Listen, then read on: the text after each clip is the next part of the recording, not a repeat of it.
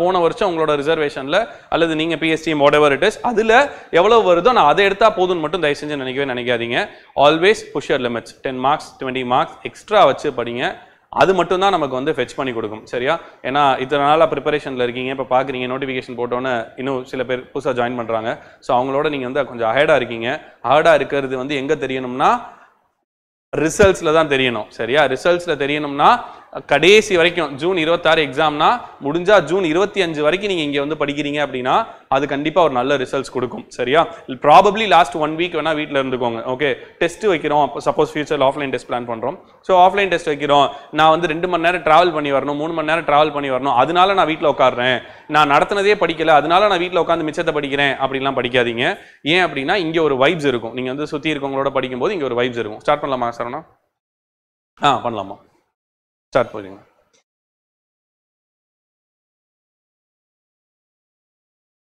அதனால last minute வரைக்கும் வந்து படிப்பீங்க அப்படின்னு நம்புறேன்.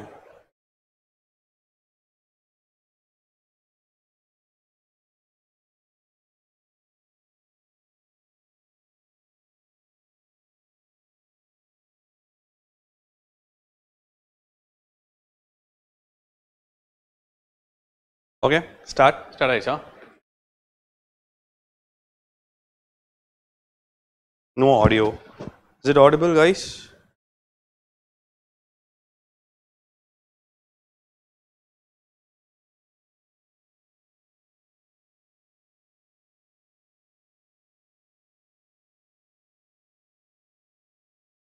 இல்ல ஆடிபிள் இல்லம்மா. ஆடியோ சேனல் செக் ஆ லைவ்ல தான் இருக்கேன். லைவ்ல தான் பார்க்குறேன் ஓ audible okay okay good Okay, great. Fine. So, what I have with me.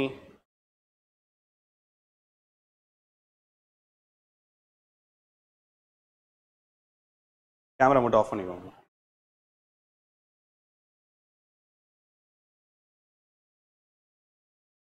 Okay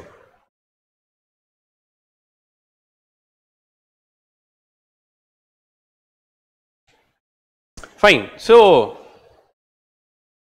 நிறைய ஸ்டூடெண்ட்ஸ் இப்போ என்கொயரிக்கு வராங்க. சரியா? பேசுவோம். ஒரு நாளைக்கு அட்லீஸ்ட் ஒரு டென் டுவெண்ட்டி பீப்புளாவது வந்து என்கொயரி பண்ணுவாங்க. என்கொயரி பண்ணும்போதே அவங்களோட இது எப்படி இருக்கும்? இன்ட்ரோடக்ஷன் எப்படி இருக்கும்னா எனக்கு எடுத்தோன்னே ஜிஎஸ் மட்டும் எனக்கு போதும் சார் ஏன்பா ஜிஎஸ் மட்டும் அப்படின்னா சிவிலில் நான் கொஞ்சம் நல்லா ஸ்ட்ராங் அப்படின்னு ஆரம்பிக்கிறாங்க. சரி என்ன ஸ்ட்ராங்னு சும்மா சொல்லுங்களேன். How do you measure that you are strong அப்படின்னா நான் காலேஜில் எத்தனை சி ஜிபி எடுத்திருக்கேன் அத்தனை ஜிபி எடுத்திருக்கேன் அப்படின்னு சொல்கிறது ஒரு கேட்டகரி ஆஃப் பீப்புள் இன்னொரு கேட்டகரி ஆஃப் பீப்புள் வந்து நான் டிஆர்பி எழுதுனேன். நைன்டி ஃபைவ் வந்துருச்சு. படிக்காமையே நைன்டி ஃபைவ் வந்துருச்சு. இன்னும் கொஞ்சம் தானே எதுப்பா கொஞ்சம்? நைன்டி எவ்வளோ எவ்வளோ கிளியராக இருக்கு ஒன் தேர்ட்டி ஃபைவ் எடுத்துக்கவங்களே வந்து கஷ்டப்பட்டுட்டு இருக்காங்க. ஓகே? ஒன் தேர்ட்டி ஃபைவ் எடுத்தாலே நம்மளால் பண்ண முடியுமா? வைக்க முடியாதான்னு சொல்லிட்டு. இப்போ லாஸ்ட் டைம் வந்து டிஎன்பிசியில் வந்து ஃபார் எக்ஸாம்பிள் உங்களுக்கு வந்து ஒரு த்ரீ தேர்ட்டி த்ரீ ஃபார்ட்டி எடுத்தவங்களுக்கு வந்து லைக் ஓவர் ரிசர்வேஷன்ல த்ரீ ஃபிஃப்டின் வச்சுப்போம் அவரேஜாக கிளியராக இருக்கு வர்ற ஸ்டூடெண்ட்ஸ் நானாக செல்ஃப் ப்ரிப்பரேஷன் பண்ணி முந்நூற்றி பத்து மார்க் எடுத்துட்டேன். செல்ஃப் ப்ரிப்பரேஷன் பண்ணி எனக்கு முந்நூற்றி பத்து வந்துருச்சு. இன்னும் கொஞ்சம் தானே அதனால நான் சிவில் நானா படிச்சுக்கிறேன். They think they are saving money they think they are saving money by refraining from taking civil engineering part so என்னோட பார்ட் என்னன்னா கோர்ஸ் ஜாயின் பண்றது அது இதுன்னு கிடையாது. அவங்களோட மைண்ட் செட் இருக்கிறதுலே ஒரு பெரிய பிரச்சனை ஸ்டூடெண்ட்ஸ் கிட்ட என்ன அப்படின்னா their mind set is their biggest problem if you think you can your rights if you think if you can't your rights correct தானே? இதுதான் வந்து மோட்டிவேஷனாக சொல்ற கோட் அதாவது ஒரு விஷயம் உன்னால் முடியும் நீ நினைச்சாலும் கரெக்ட் தான். அது செஞ்சிருவ. ஒரு விஷயம் நீ முடியாதுன்னு நினைச்சாலும் கரெக்டு தான் நீ செய்ய மாட்ட. என்ன என்னன்னா இங்கே ஒரு ஃபால்ஸ் ஹோப் வச்சுக்கிட்டே இருக்கோம். என்ன ஃபால்ஸ் ஹோப் அப்படின்னா நம்மளை நாமே எப்போ வந்து எக்ஸாக்டாக வேல்யூ பண்ணுறோமோ அப்போ you are on the right track and you will win easily is that true or not நம்மளை நாமே எப்போ வந்து பர்ஃபெக்டாக வேல்யூ பண்ணுறோமோ ஆனால் ஸ்டூடெண்ட்ஸ் பாருங்களேன் தொண்ணூற்றி ரெண்டு மார்க் எங்கேம்மா இருக்குது டிஆர்பியில் நூற்றி முப்பத்தஞ்சு மார்க் எங்கேம்மா இருக்குது நீங்க நூத்தி முப்பத்தி ரெண்டு எடுத்திருந்தா கூட நான் என்கரேஜ் பண்ணுவேன் நீங்க நினைக்கிறீங்களா? டெஃபினட்டா இல்ல. நீங்க இங்க ஜாயின் பண்ணுங்கன்னு இல்ல. எங்கேயோ ஒரு கைடன்ஸோட உங்களுக்கு இருங்க. அட்லீஸ்ட் நீங்க தெரிஞ்சுக்கோங்க. யூ ஆர் ஃபெயில்ட் அவ்வளவுதான். நீங்க வந்து இதை நீங்க நான் இத்தனை மார்க்ல போச்சு அத்தனை மார்க்ல போச்சு எனக்கு அன்னைக்கு உடம்பு சரியில்லாம போச்சு. You cannot state any reason on the day of exam right so it is not about it is exactly not about ten fifteen மார்க்ஸ்லாம் கிடையாது. ஸோ நீங்கள் சிவில் ஸ்ட்ராங்காக இருக்கீங்க அப்படின்னா என்ன அர்த்தம்னா நீங்கள் சிவில் கிளியர் பண்ணி இன்டர்வியூ கிளியர் இன்டர்வியூ வரைக்கும் போயிட்டு கவுன்சிலிங்கில் கிடைக்கல அப்படின்னா வெல் அண்ட் குட் வாங்க டெஸ்ட் பேட்ச் மட்டும் எடுத்துக்கோங்க. ஸோ வரும்போதே ஸ்டூடெண்ட்ஸோட ஃபஸ்ட்டு மென்டாலிட்டி என்னன்னா எனக்கு டெஸ்ட் பேட்ச் மட்டுமே போதும். ஏன் டெஸ்ட் பேட்ச் ஒன்றும் இல்லைம்மா நான் கேட்பேன் வேற எங்கேயும் ப்ரிப்பேர் ஆயிருக்கீங்களா? அவங்க வேற ஏதாவது இன்ஸ்டியூட் சொன்னால் எந்த பேச்சுமே இல்லை. அப்படியாப்பா well and good test batch மட்டும் வாங்கிக்கோங்க.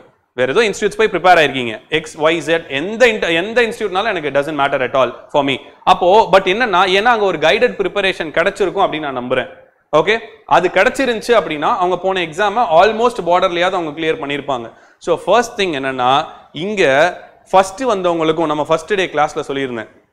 ஹார்ஸ் ரேஸ்ல ஃபர்ஸ்ட் வர ஹார்ஸுக்கும் செகண்ட் வர ஹார்ஸுக்கும் எவ்வளவு டிஃபரன்ஸ் இருக்கும் அப்படின்னா ஆஹா நான் செகண்ட்ஸ்லயே சொல்லலை. எவ்வளவு டிஃபரன்ஸ் இருக்கும் அப்படின்னா ஐ செட் சம்திங் என்ன சொல்லியிருந்தோம்? ஃபர்ஸ்ட் வர ஹார்ஸுக்கும் செகண்ட் வர ஹார்ஸுக்கும் எவ்வளோ டிஸ்டன்ஸ் சொல்லியிருந்தோம்? நோஸ் நோஸ் அளவு தான் டிஃபரன்ஸ் அப்படின்னு ஃபர்ஸ்ட் டே கிளாஸ்ல சொல்லியிருந்தோம். I was not about talking about the seconds nose முன்னாடி வருதுல்ல அதுதான் கணக்கு சரியா? நோஸ் முன்னாடி வருதான் கணக்கு. The same way with here we know everybody with Usain Bolt right we know everybody I mean everybody knows Usain Bolt so Usain Bolt வந்து நார்மலா இதெல்லாம் செமிஃபைனலோட results nine point eight seven seconds ஃபைனலா அவர் எத்தனை செகண்ட்ஸில் அடிச்சார்? ஃபைனலா ஃபைனலா இதுதான் final result okay nine point six three seconds second வந்து ஒரு பேர் யார் எத்தனை பேருக்கு தெரியும் தெரியல. ப்ராப்ளி நீங்க ஜிஎஸ் படிக்கிறீங்கன்னா இன்னைக்கு நேரம் தெரிஞ்சிருக்கும். ஒரு காமன் மேன் கிட்ட கேட்குறீங்கன்னா கண்டிப்பா நோ ஒன் நோஸ் ஓகே எவ்வளவு டிஃபரன்ஸ்னு பார்த்தீங்கன்னா nine six nine point six த்ரீக்கும் ஒரு செகண்ட் கூட வித்தியாசம் இல்லை. கட்டுதானே? பத்து second less than okay less than that தான் அவங்களோட டோட்டல் டிஃபரன்ஸே அப்போ இதோட டோட்டல் திங்கே என்னன்னு பார்த்தீங்கன்னா the whole my point is இப்போ இந்த இடத்துல பாயிண்ட் ஃபைவ் ஒன் ஃபைவ் செகண்ட்ஸில் தான் வந்து இவங்க மேலே வந்திருக்காங்க. அப்போ இதே தான் நம்மளுக்குமே. போன தடவை கவுன்சிலிங் போன கேண்டிடேட்ஸுக்கும் கவுன்சிலிங் போயிட்டு கிடைக்காம வந்த கேண்டிடேட்ஸ்க்கும் ரெண்டு பேருமே கவுன்சிலிங்ல உட்காந்துருக்கீங்க ரெண்டு பேருக்குமே கிடைக்கல. ஒருத்தர் கிடைச்சிருக்கு ஒருத்தர் கிடைக்கல. எவ்வளவு டிஃபரன்ஸ் இருந்திருக்கும்னு பாக்குறீங்க அப்படின்னா இதே மாதிரி ஒன் மார்க்ல பாயிண்ட் ஃபைவ் மார்க்ஸ்ல மிஸ் பண்ண கேண்டிடேட்னா அப்ப ஸ்டூடெண்ட்ஸோட மென்டாலிட்டி என்னன்னா ஒன்றும் இல்லை நீங்க இவ்வளோ படிக்கிறீங்க. சரியா நம்ம வந்து இவ்வளோ நோட்ஸ் நம்ம உங்ககிட்ட கொடுத்துருக்கோம். அத்தனை ஃபேக்கல்டிஸ் வந்து எடுத்திருக்காங்க. அவ்வளோ பேட்சஸ் வந்து அவ்வளோ கான்டென்ட் வந்து நம்ம கொடுத்துருக்கோம். ஒரு ஸ்டூடெண்ட் தனியாக உட்காந்து அவங்களா எல்லா புக்கையும் ரெஃபர் பண்ணி அவங்களா எல்லாத்தையும் எடுத்து படிச்சுட்டு அவங்களுக்கு தெரிஞ்சிருந்துச்சுன்னா definitely I would be happy for them but தெரியாம அவங்க என்ன நினைச்சுக்கிறாங்க அப்படின்னா நமக்கு தெரியுது தெரியுதுன்னு நினைச்சுக்கிறாங்க. So one or two marks வாங்க வாங்கம்மா ஸோ ஒன் ஆர் டூ மார்க்ஸ்லேயே நீங்கள் மிஸ் பண்ணினீங்கனாலுமே நான் வந்து கண்டிப்பாக மிஸ் மிஸ் பண்ணது மிஸ் பண்ணது தானே. டூ தௌசண்ட் நைன்டீன் நேற்றுக்கு நம்ம பேசிகிட்டு இருந்தோம். Two thousand nineteen TNPSC miss பண்ணவனுக்கு இன்னும் எத்தனை வருஷம் ஆச்சு? மூணு வருஷம். அதான் போன August two thousand nineteen twenty two year wise பார்த்தோம்னா அவன் இனிமே போஸ்டிங் போட்டு ஜாயின் பண்றதுக்கு ஆயிரும்ல? போஸ்டிங் போட்டு ஜாயின் பண்றதுக்கு ஆயிரும். Which is almost two and half to three years ஆச்சு. நேத்திக்கு நம்ம கணக்கும் பேசியிருந்தோம். த்ரீ இயர்ஸ்க்கு ஒன் இயருக்கு எவ்வளவு சேலரி அப்படின்னா seven lakhs seven lakhs salary மூணு வருஷத்துக்கு இருபத்தோரு லட்ச ரூபா லாஸ் சரியா? ஸோ அதனால நம்ம ஸ்டூடெண்ட்ஸ் பாயிண்ட் ஆஃப் வியூல என்னன்னா எஃபோர்ட்டுக்கும் ரிசல்ட்ஸுக்கும் எப்பயுமே டைரக்ட்லி ப்ரொபோஷனலாக இருக்கணும்னு அவசியமே இல்லை. சரியா? முதல்ல உங்களோட வேலை எஃபோர்ட் போட்டுக்கிட்டே இருக்கிறது. எஃபோர்ட் போட்டுக்கிட்டே இருக்கிறது. இந்த மாதிரி இப்போ பாயிண்ட் ஒன் செகண்ட்ஸில் மிஸ் பண்ணவங்களையோ இல்லை பாயிண்ட் ஜீரோ ஒன் செகண்ட்ஸில் மிஸ் பண்ணவங்களையோ ஹிஸ்ட்ரி மறந்துடுது ஆனால் இங்கே அப்படி கிடையாது. ஜென்ரலாக பார்க்குறீங்க அப்படின்னா நீங்கள் ஒரு எக்ஸாம் எழுதிட்டு வந்துட்டீங்க ஏஇ எக்ஸாம் முடிச்சுட்டு அன்றைக்கி நைட் என்ன பண்ணுவீங்க? படத்துக்கு போவோம். ஜென்ரலாக படத்துக்கு போவோம். சாப்பிட போவோம். என்ஜாய் பண்ண போவோம். இவ்வளோ நாள் தூங்காம இருந்ததுக்கு தூங்க போவோம் ஓகே ஜப்பானில் ஜென்ரலாக வந்து ஒலிம்பிக் முடியுது அப்படின்னா அன்றைக்கி ஈவினிங் என்ன பண்ணுவாங்கன்னா பார்ட்டிக்கு போக மாட்டாங்க. திரும்பி அடுத்த ஒலிம்பிக்கு ப்ராக்டிஸ் போயிடுவாங்க. இது வந்து மோட்டிவேஷ்னலாக ஒரு ஒரு வீடியோ இருக்கும் அதுக்கு. அப்போது what does it matter is நீங்கள் என்னனாலுமே உங்கள் எஃபோர்ட்டை ஸ்டாப்பே பண்ணாதீங்க. என்னனாலுமே உங்கள் எஃபோர்ட்டை ஸ்டாப்பே பண்ணாதீங்க. சரியா? டிஎன்பிஎஸ்சி முடிஞ்சிருச்சு நான் டிஆர்பிக்கு தான் எய்ம் பண்ணுறேன் அவர் டிஆர்பி பார்த்துக்கலாம் அப்படிலாம் எதுவுமே இல்லை. எக்ஸாம் முடிச்சுட்டு வந்து அடுத்த நாள் திரும்பி என்ன பண்ணிடணும்? கோர்ட்டில் வந்து இங்கே வந்து ப்ரிப்பரேஷன் ஸ்டார்ட் பண்ணிடணும் ஓகே பிளேஸில் வந்து. That is one part fine so அது மாதிரி தான் வந்து ஜென்ரலாக ஐ டோல்ட் யூ ரைட் முன்னாடி வந்து நம்ம கேட்டுக்கு நிறையா ஃபோக்கஸ் பண்ணுவோம். GATE and IES classes okay so two thousand செவன்டீனில் அப்படி ஜாயின் பண்ணார் தான் வந்து நம்மளோட ஒரு student okay he studied in Tagore engineering college வராங்க. டூ தௌசண்ட் செவன்டீனில் என்ன ஆகுது அப்படின்னா கேட்டுக்கு வராங்க. வரும்போது அட்மிஷன் ப்ராசஸ்லாம் ரொம்ப ஃபன்னாக இருக்கும். அது அவங்க அவங்களே பேசி கேட்கட்டும். ஸோ அதெல்லாம் ஒரு பக்கம். சரியா? ஸோ டூ தௌசண்ட் செவன்டீனில் வராங்க. வரும்போது கேட் கிளியர் பண்ணுறதுக்காக வராங்க பட் கிளியர் பண்ண முடியல. Okay as we all know என்ன அப்படின்னா நான் இப்போ சொன்ன மாதிரி தான் எஃபோர்ட் வெர்சஸ் ரிசல்ட்ஸ் தான். நீங்கள் ஒரு காலேஜில் ஒரு ஒரு மெத்தடாலஜி ஆஃப் ஸ்டடி வச்சிருக்கீங்க அதை பிரேக் டவுன் பண்ணுறீங்க இங்கே வந்து டெஃபினட்டாக காலேஜில் நம்ம புரியாமல் டக்கு டக்குன்னு மனப்பாடம் பண்ணி ஏதோ ஒன்று பண்ணி நம்ம பாட்டுக்கு போயிட்டே இருக்கலாம். ஓகே என்னென்னா அனாலிஸ்டில் நம்ம நம்ம சிக்ஸ்டீன் மார்க்ஸ் இருக்குது அதுக்குள்ளே நீங்கள் எப்படி கன்வே பண்ணுறதுனால நீங்கள் கன்வே பண்ணலாம். அல்லது கிவன் டேட்டாக்கு ஒரு மார்க் இருக்கும். ஆப்வியஸ்லி கிவன் டேட்டாக்கு ஒரு மார்க் இருக்கும். அல்லது ஃபார்முலாக்கு ஒரு மார்க் இருக்கும். நீங்கள் கால்குலேஷனில் மிஸ்டேக் பண்ணீங்கன்னா கூட சிக்ஸ்டீன் மார்க்ஸ் அட்லீஸ்ட் உங்களுக்கு டென் மார்க்ஸ் டுவெல் மார்க்ஸ் வரும். நம்ம கிளியர் பண்ணிடுவோம் வந்துடுவோம் இங்கே அப்படி இல்லை. ஏவா பி ஆன்சர் கழுத்துல கத்தி வைக்கிறது தமிழ்ல சொல்லுவாங்க சரியா? ஏவா பியா சொல்லு. சார் ஏ மாதிரியும் இருக்கு பி மாதிரியும் இருக்கு. ரெண்டுத்துல ஏதாவது ஒண்ணு சொல்லு. பி தப்பு நீ கிளம்பு அடுத்த வருஷம் வா. முடிஞ்சு. எப்ப சார் வரணும்? அடுத்த வருஷம் வா. சார் அடுத்த வருஷம் நோட்டிபிகேஷன் இருக்குமா சார் அதெல்லாம் நாங்க சொல்ல மாட்டோம். அதெல்லாம் நாங்க சொல்ல மாட்டோம். நீ ஒழுங்கா எழுதல கிளம்பு. அவ்வளவுதான் ஓ வேலை.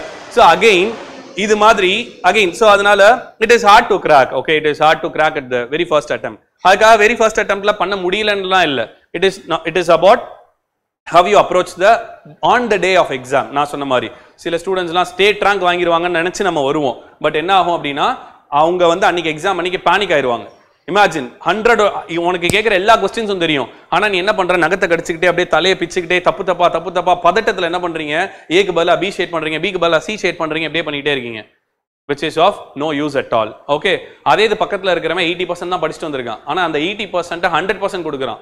Obviously he will get through the exam very easily yes guys so அந்த மாதிரி two thousand செவன்டீனில் again he started for that பார்த்துட்டு அதுக்கப்புறம் கேட் படிக்கிறாங்க. ஸோ கேட் கிடைக்கல. Again he clear two thousand nineteen GATE two thousand nineteen GATE அதுக்கப்புறம் வந்து SSC two thousand நைன்டீன்லையும் clear ஆகுது டூ தௌசண்ட் டுவெண்ட்டிலையும் கிளியர் ஆகுது. ஓகே அதுக்கப்புறம் இடையில வந்து Andhra Pradesh public service commission கேள்விப்பட்டிருக்கீங்களா? டிஎன்பிஎஸ்சி மாதிரி ஏபிபிஎஸ்சி என்ன போஸ்ட் தெரியுமா? Exactly super assistant executive engineer அதில் ஒரு ரெண்டு லெவல் கிளியர் ஆகுது. அப்புறம் பஞ்சாப் நேஷனல் பேங்க்ல ஏஇ அசிஸ்டன்ட் இன்ஜினியர் போஸ்ட் வருது. அதுக்கும் கிளியர் ஆகுது. Again as well as the pollution control board அதுவுமே வந்து கிளியர் ஆகுது. ஸோ இதெல்லாம் போக right now we scored state first rank in SSC okay staff selection கமிஷனில் first rank have got scored that so அதனால வந்து அவங்களோட சக்ஸஸ் ஸ்டோரியை அவங்களோட ஒரு டேர்ம்லையே நம்ம கேட்கலாம். என்ன எங்கேருந்து ஜேர்னி ஸ்டார்ட் ஆச்சு? ஃபஸ்ட்டு நம்ம அவங்கள பேச விடுவோம். சரியா? பேச விட்டுட்டு அடுத்து உங்களோட டவுட்ஸ் கேளுங்க டவுட்ஸில் எப்பவுமே சின்ன டவுட் பெரிய டவுட்லாம் எதுவுமே இல்லை. அது வேல்யூபிளா இல்லையா? அப்படிங்கிறது மட்டும் இருக்கட்டும். நான் சொன்ன மாதிரி மார்க்குக்கு ஃபோக்கஸ் பண்ணாமல் எஃபர்ட்டை எப்படி ஹேண்டில் பண்ணீங்க? இன்னொன்று ஃபெயிலியர் வரும்போது எப்படி ஹேண்டில் பண்ணீங்க? செவன்டீன் கேட்டுக்கு சார் வந்ததா சொன்னார். பட் செவன்டீன் கேட் உங்களுக்கு கிடைக்கல. உங்களுக்கு பேரண்ட்ஸ் சப்போர்ட் எப்படி இருந்துச்சு? இங்கே நிறைய பேர் வீட்டில் அதுதான் ப்ராப்ளம் ஓகே நிறைய பேர் வீட்டில் அதுதான் ப்ராப்ளம் என்ன ப்ராப்ளம் அப்படின்னா பேரண்ட்ஸ் சப்போர்ட் ஒரு வருஷமாக கிளாஸ்க்கு போகிற அவங்களோட ஸ்டார்டிங்கே நாலு வருஷம் படிக்காத இந்த வருஷத்தை படிச்சிருவியா? நமக்கு தான் தெரியும். நாலு வருஷம் என்ன படிச்சோம் நமக்கு தான் தெரியும். இந்த ஆறு மாதத்தில் என்ன படிக்கிறோங்கிறது இதோட இம்பாக்ட் நமக்கு தான் தெரியும். ஸோ அதனால் பி டிகிரி சர்டிஃபிகேட் க லட்சக்கணக்கான பேர்கிட்ட இருக்கு. சரியா? டிஎன்பிஎஸ்சி ஏஇ அப்படிங்கிற ஒரே ஒரு ஒரு ஒரு சர்டிஃபிகேட்டோ ஐ மீன் லைக் போஸ்ட்டோ எதுவோ வருஷத்துக்கு நானூறு பேரோ சார் இந்த வாட்டி ஐநூத்தி எழுபத்தாறு பேர் சார் ஆ இந்த தடவை ஐநூத்தி எழுபத்தாறு பேர்கிட்ட இருக்குது இருக்கு. So if you want become one of those people you need to focus on that effort இன்னொன்று நீங்க இமேஜின் பண்ணலனா நீங்க ஏஇயா இருக்கிற மாதிரி இமேஜின் பண்ணல அப்படின்னா ஒண்ணுமே இருக்காது. நான் நேற்று சொன்ன மாதிரி நீங்கள் நீங்க வரல இல்லையா? மைண்ட்ஃபுல்னஸ்னு ஒரு கான்செப்ட் பேசிட்டு இருந்தோம். என்ன அப்படின்னா நம்ம ஒர்க்ல இருக்கும்போது வெக்கேஷன் பத்தி யோசிப்போம். எப்படா ஒர்க் முடியும்? எப்படா வெக்கேஷன் போகலான்னு யோசிப்போம். வெக்கேஷன்ல இருந்துட்டு என்ன யோசிப்போம்? என்னடா இந்த வேலை பிடிக்கவே இல்லையே? அடுத்து எந்த வேலைக்கு போகலாம் இல்ல அடுத்து எப்படி பண்ணலாம் அப்படின்னு. We are not on that particular point. கரெக்டா இல்லையா? அதான் mindfulness concept we don't live the particular day. அதே மாதிரி தான் இங்கே உட்காந்துக்கிட்டு ஏய் இத்தனை போஸ்ட் தான் இருக்கு. என் ரிசர்வேஷன்ல இத்தனை போஸ்ட் தான் இருக்கு? எனக்கு கிடைக்குமா கிடைக்காதான்னு ப்ரிப்பரேஷன்ல உட்காந்துருக்கும் போதே உங்க மைண்ட் பேக் எண்ட்ல ஒர்க் ஆயிட்டே இருந்துச்சுன்னா உங்க கண்ணு ஒரு கொஸ்டினை படிச்சுக்கிட்டே இருக்கும். ஆனா உங்க மைண்ட் வேற எங்கேயாவது போயிட்டே இருக்கும். நீங்க படிச்சது உங்க மைண்ட்ல நிக்கவே நிக்காது. ஸோ அதனால what you have to focus on is mindfulness which is like live the present situation இப்போ உனக்கு ஒரு நம்பர் ஆஃப் போஸ்ட் வந்திருக்கு. அதை நீ படிக்கிறது மட்டும்தான் உன் கடமை. அவ்வளவுதானே ஒழிய நீ உட்காந்து இது கிடைக்குமா கிடைக்காதான்னு உட்காந்து ப்ராபபிலிட்டி ஸ்டாட்டிஸ்டிக்ஸ்லாம் நீங்க போடணும்னு அவசியமே இல்லை. சரியா? That is not your part okay இது கிடைக்கலையா? இப்போ நான் சொன்னேன். அன்னைக்கு கௌதம் வந்தாரு. எத்தனை லிஸ்ட் பண்ணோம்? தமிழ்ல பாத்தீங்களா? ஒரு அஞ்சு ஆறு இருந்துச்சு. இன்னைக்கு இவர்கிட்ட பேசுறேன். எத்தனை இருக்கு? அஞ்சு ஆறு இருக்கு. அப்போ இது கிடைக்கலையா? அடுத்தடுத்து உங்களுக்கு பெஸ்டா இருக்கு. பட் என்னன்னா எஃபர்ட்டை மட்டும் ஸ்டாப் பண்ணக்கூடாது. Okay I welcome mister Vigneswaran okay to talk about to talk about things to give இருங்க இந்தாங்க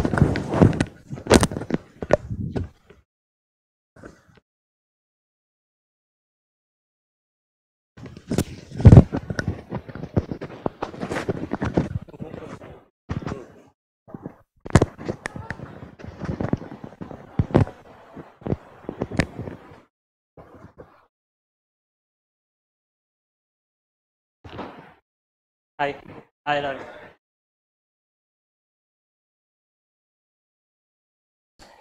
ஹாய் என் பேர் விக்னேஷ். ஸோ சார் சொல்லியிருந்தாரு டூ தௌசண்ட் செவன்டீனில் வந்திருந்தேன். ஸோ ஃபஸ்ட்டு என்னை பற்றி சொன்னோடனே எல்லாருக்கும் ஒரு விஷயம் கண்டிப்பாக மைண்டில் வந்திருக்கும். இவர் டூ தௌசண்ட் செவன்டீனில் வந்தாங்க. ஆனால் டுவெண்ட்டி டுவெண்ட்டி டூவில் அப்படிங்கிற ஒரு எல்லாருமே ஒருத்தர் சக்ஸஸ் சொல்லும்போது அவங்க எவ்வளோ நாளில் அதை அச்சீவ் பண்ணாங்க அப்படின்னு கால்குலேஷன் கண்டிப்பாக எல்லாரும் போட்டிருப்பீங்க. ஸோ கண்டிப்பாக அது வந்து அந்த மாதிரி யோசிக்கக்கூடாது ஃபர்ஸ்ட்டு என்ன ஆச்சுன்னா டூ தௌசண்ட் செவன்டீனில் நான் வந்து இங்கே ஜாயின் பண்ணேன். இங்கே ஜாயின் பண்ணுறப்ப அந்த சீட்டில் தான் உட்காந்தேன் நான். அந்த சீட்டில் உட்காந்துருக்கப்ப இதே மாதிரி இன்டர்வியூக்கெலாம் வருவாங்க. ஸோ அப்போ நான் பார்த்து ட்ரீம் பண்ணியிருக்கேன். இந்த மாதிரிலாம் வந்து பேசுகிறாங்களே நம்மளால் முடியுமா இதெல்லாம் அப்படிலாம் யோசிச்சு ட்ரீம் பண்ணியிருக்கேன். ஸோ இப்போ இங்கே இங்கே நிற்கும் போது எனக்கு அங்கே உட்காந்துருக்க விக்கி தான் ஞாபகம் வருது. ஏன்னா அங்கே உட்காந்துருக்க விக்கிக்கு வந்து எதுவுமே தெரியாது. சிவிலில் எத்தனை சப்ஜெக்ட் இருக்குன்னு கூட தெரியாமல் அங்கே வந்து உட்காந்தேன் எஸ்ஓஎம்ல எஸ்னா என்னன்னு கூட தெரியாது. ஸோ அந்த மாதிரி ஸ்டேட்டில் வந்து உட்காந்து ஒரு பையன் தான். நான் இன்னைக்கு பார்த்தீங்கன்னா all India rank twenty four state rank one so இதெல்லாம் எப்படி ஈஸியாக கிடச்சிடுச்சா கஷ்டமாக கிடச்சிடுச்சா என்ன ப்ராசஸ் நான் அப்படி என்ன வித்தியாசமாக பண்ணிட்டேன்? ஏன்னா என் கூட உட்காந்த பசங்களாம் ரொம்ப இன்டெலிஜென்ட்டாக இருப்பாங்க. எல்லாம் சார் நீங்கள் கொஸ்டின் சொல்கிறதுக்கு ஆன்சர் வந்துடும் அந்த மாதிரி பசங்களாம் கூட உட்காந்துருப்பாங்க ஸோ அவங்க கூட உட்காரும்போது ஒரு இன்ஃபீரியாரிட்டி இருக்கும் எனக்கும். என்னடா இது? நம்ம கொஸ்டினே புரியல. இவங்க என்னடானா கொஷின் சொல்கிறதுக்குள்ள ஆன்சர் சொல்கிறாங்களே ஸோ இந்த மாதிரி விஷயம்லாம் இருந்துச்சு. ஸோ எப்படி வந்து இந்த விஷயம்லாம் நான் அச்சீவ் பண்ணேன்? அதெல்லாம் வந்து உங்களுக்கு டீட்டெயிலாக சொல்கிறேன் ஸோ ஆக்சுவலாக என்ன ஆச்சா செவன்டீனில் ஜாயின் பண்ணப்போ கேட் தான் என்னோட டார்கெட்டாக இருந்துச்சு. ஆனால் டு பி ஃப்ரேங்க் எனக்கு கேட்டை விட முக்கியம் என்னோட ரெண்டு அரியரை கிளியர் பண்ணுறது தான் என் டார்கெட்டாக இருந்துச்சு.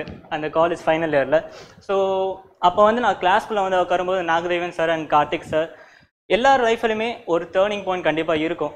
ஸோ அப்போ அந்த டேர்னிங் பாயிண்ட் வந்து என்ன அவங்கள மீட் பண்ண அந்த ஒரு இன்சிடெண்ட் தான் சொல்லுவேன். ஸோ அந்த மாதிரி தான் உங்களுக்கும் இது இது ஒரு டேர்னிங் பாயிண்ட்டாக தான் நீங்கள் பார்க்கணும். ஏன்னா பிகாஸ் நமக்கே தெரியாது ஒரு லைஃப்பில் ஒரு பாயிண்ட் வரும் நமக்கு. அந்த பாயிண்ட்டை நம்ம இதுதான் நம்ம டேர்னிங் பாயிண்ட் புரிஞ்சுக்கிட்டு நம்ம அதை யூஸ் பண்ணிக்கலனா அவ்வளோதான் நம்ம லைஃப் டோட்டலாக வேறு டைரெக்ஷனில் போகும். அதே மாதிரி எனக்கு ஒரு ஆப்பர்ச்சுனிட்டி கிடச்சிது இந்த மாதிரி ஒரு இன்ஸ்டியூட்டில் போய் உட்காந்து சும்மா பார்ப்போம். ஒரு டெமோ கிளாஸ்க்காக தான் வந்தேன் ஆக்சுவலாக சும்மா போய் டெமோவில் உட்காருவோம் ஒன்றுமே தெரியாமல் இருக்கோமே. அரியர் இருக்குது வீட்டில் வேற களி களி ஊற்றிட்டு இருக்காங்க. ரெண்டு அரியர் இருக்குது இன்னும் வேறு ஒரு செமஸ்டர் ஃபுல்லாக இருக்குது என்ன பண்ணுறதுன்னு தெரியலன்னு வந்தப்போ இங்கே வந்து உட்காந்து அந்த ஒரு எனர்ஜி அந்த ஃபர்ஸ்ட் டே ஒரு எனர்ஜி ஒன்று கிடைக்கும். அந்த எனர்ஜியை பார்த்த உடனே ஒரு நம்பிக்கை வந்துடுச்சு ரைட் இவங்க ரெண்டு பேரும் நம்ம பிலீவ் பண்ணால் போதும். ஏன்னா நிறைய இன்ஸ்டிடியூட் இன்றைக்கி டேட்டில் பார்த்தோம் நிறைய இன்ஸ்டிடியூட் இருக்குது நிறைய ஃப்ரீ மெட்டீரியல்ஸ் எல்லாமே கிடைக்குது. ட்ரஸ்ட்டுங்கிற ஒரு விஷயம் நம்ம எல்லாருக்கிட்டையுமே லேக் ஆகுது.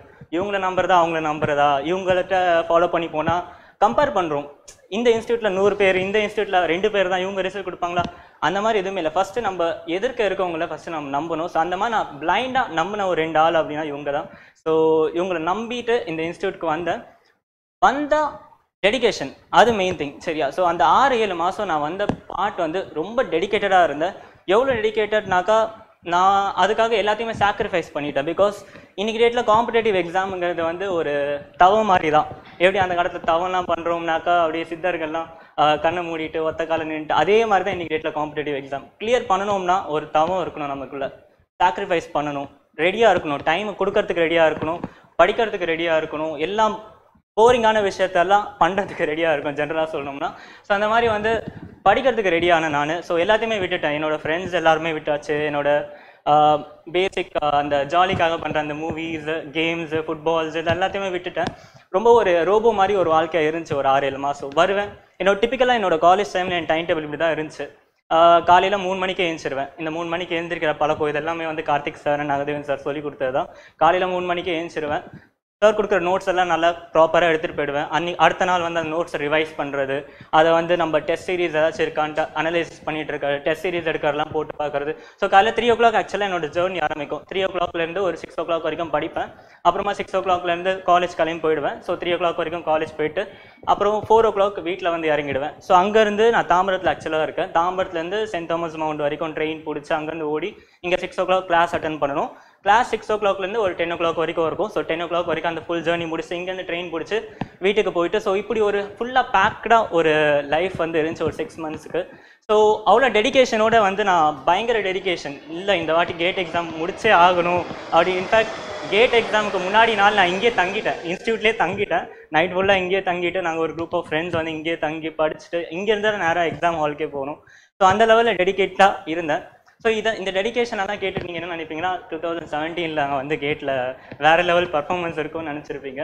ஃபுல் டெடிகேஷன் இருந்துச்சு ஃபுல் படிப்பு இருந்துச்சு ஃபுல் ஃபோக்கஸ் இருந்துச்சு எல்லாமே இருந்துச்சு. ஆனால் எனக்கு வந்த மார்க் அஞ்சு மார்க் ஹண்ட்ரடுக்கு அஞ்சு மார்க் ஸோ இதை பார்த்த உடனே வந்து எனக்கு என்னடா இது? நம்ம வேற லெவலில் படித்தோமே சார் கொடுத்த அட்வைஸ் எல்லாம் கேட்டோம். எல்லாமே பண்ணோம். அப்போ நம்ம எங்கே லேக் ஆகணும் அப்படின்ட்டு யோசிச்சுக்கிட்டே இருக்கேன். ஒரு ஒரு ஒன் டே டூ டே டிப்ரெஷனில் போகுது. ப்ளஸ் வந்து அந்த அளவுக்கு பேக்ரவுண்டு ஃபேமிலி பேக்ரவுண்டு நல்லா இருக்காது. ஸோ என்ன ஆயிடுச்சுன்னா எனக்கு கொடுத்த டைமை நான் ஏதோ ஒரு இடத்துல வேஸ்ட் பண்ணாது என்னன்னா ப்ராக்டிஸ் அது அப்புறம் தான் எனக்கு புரிஞ்சு.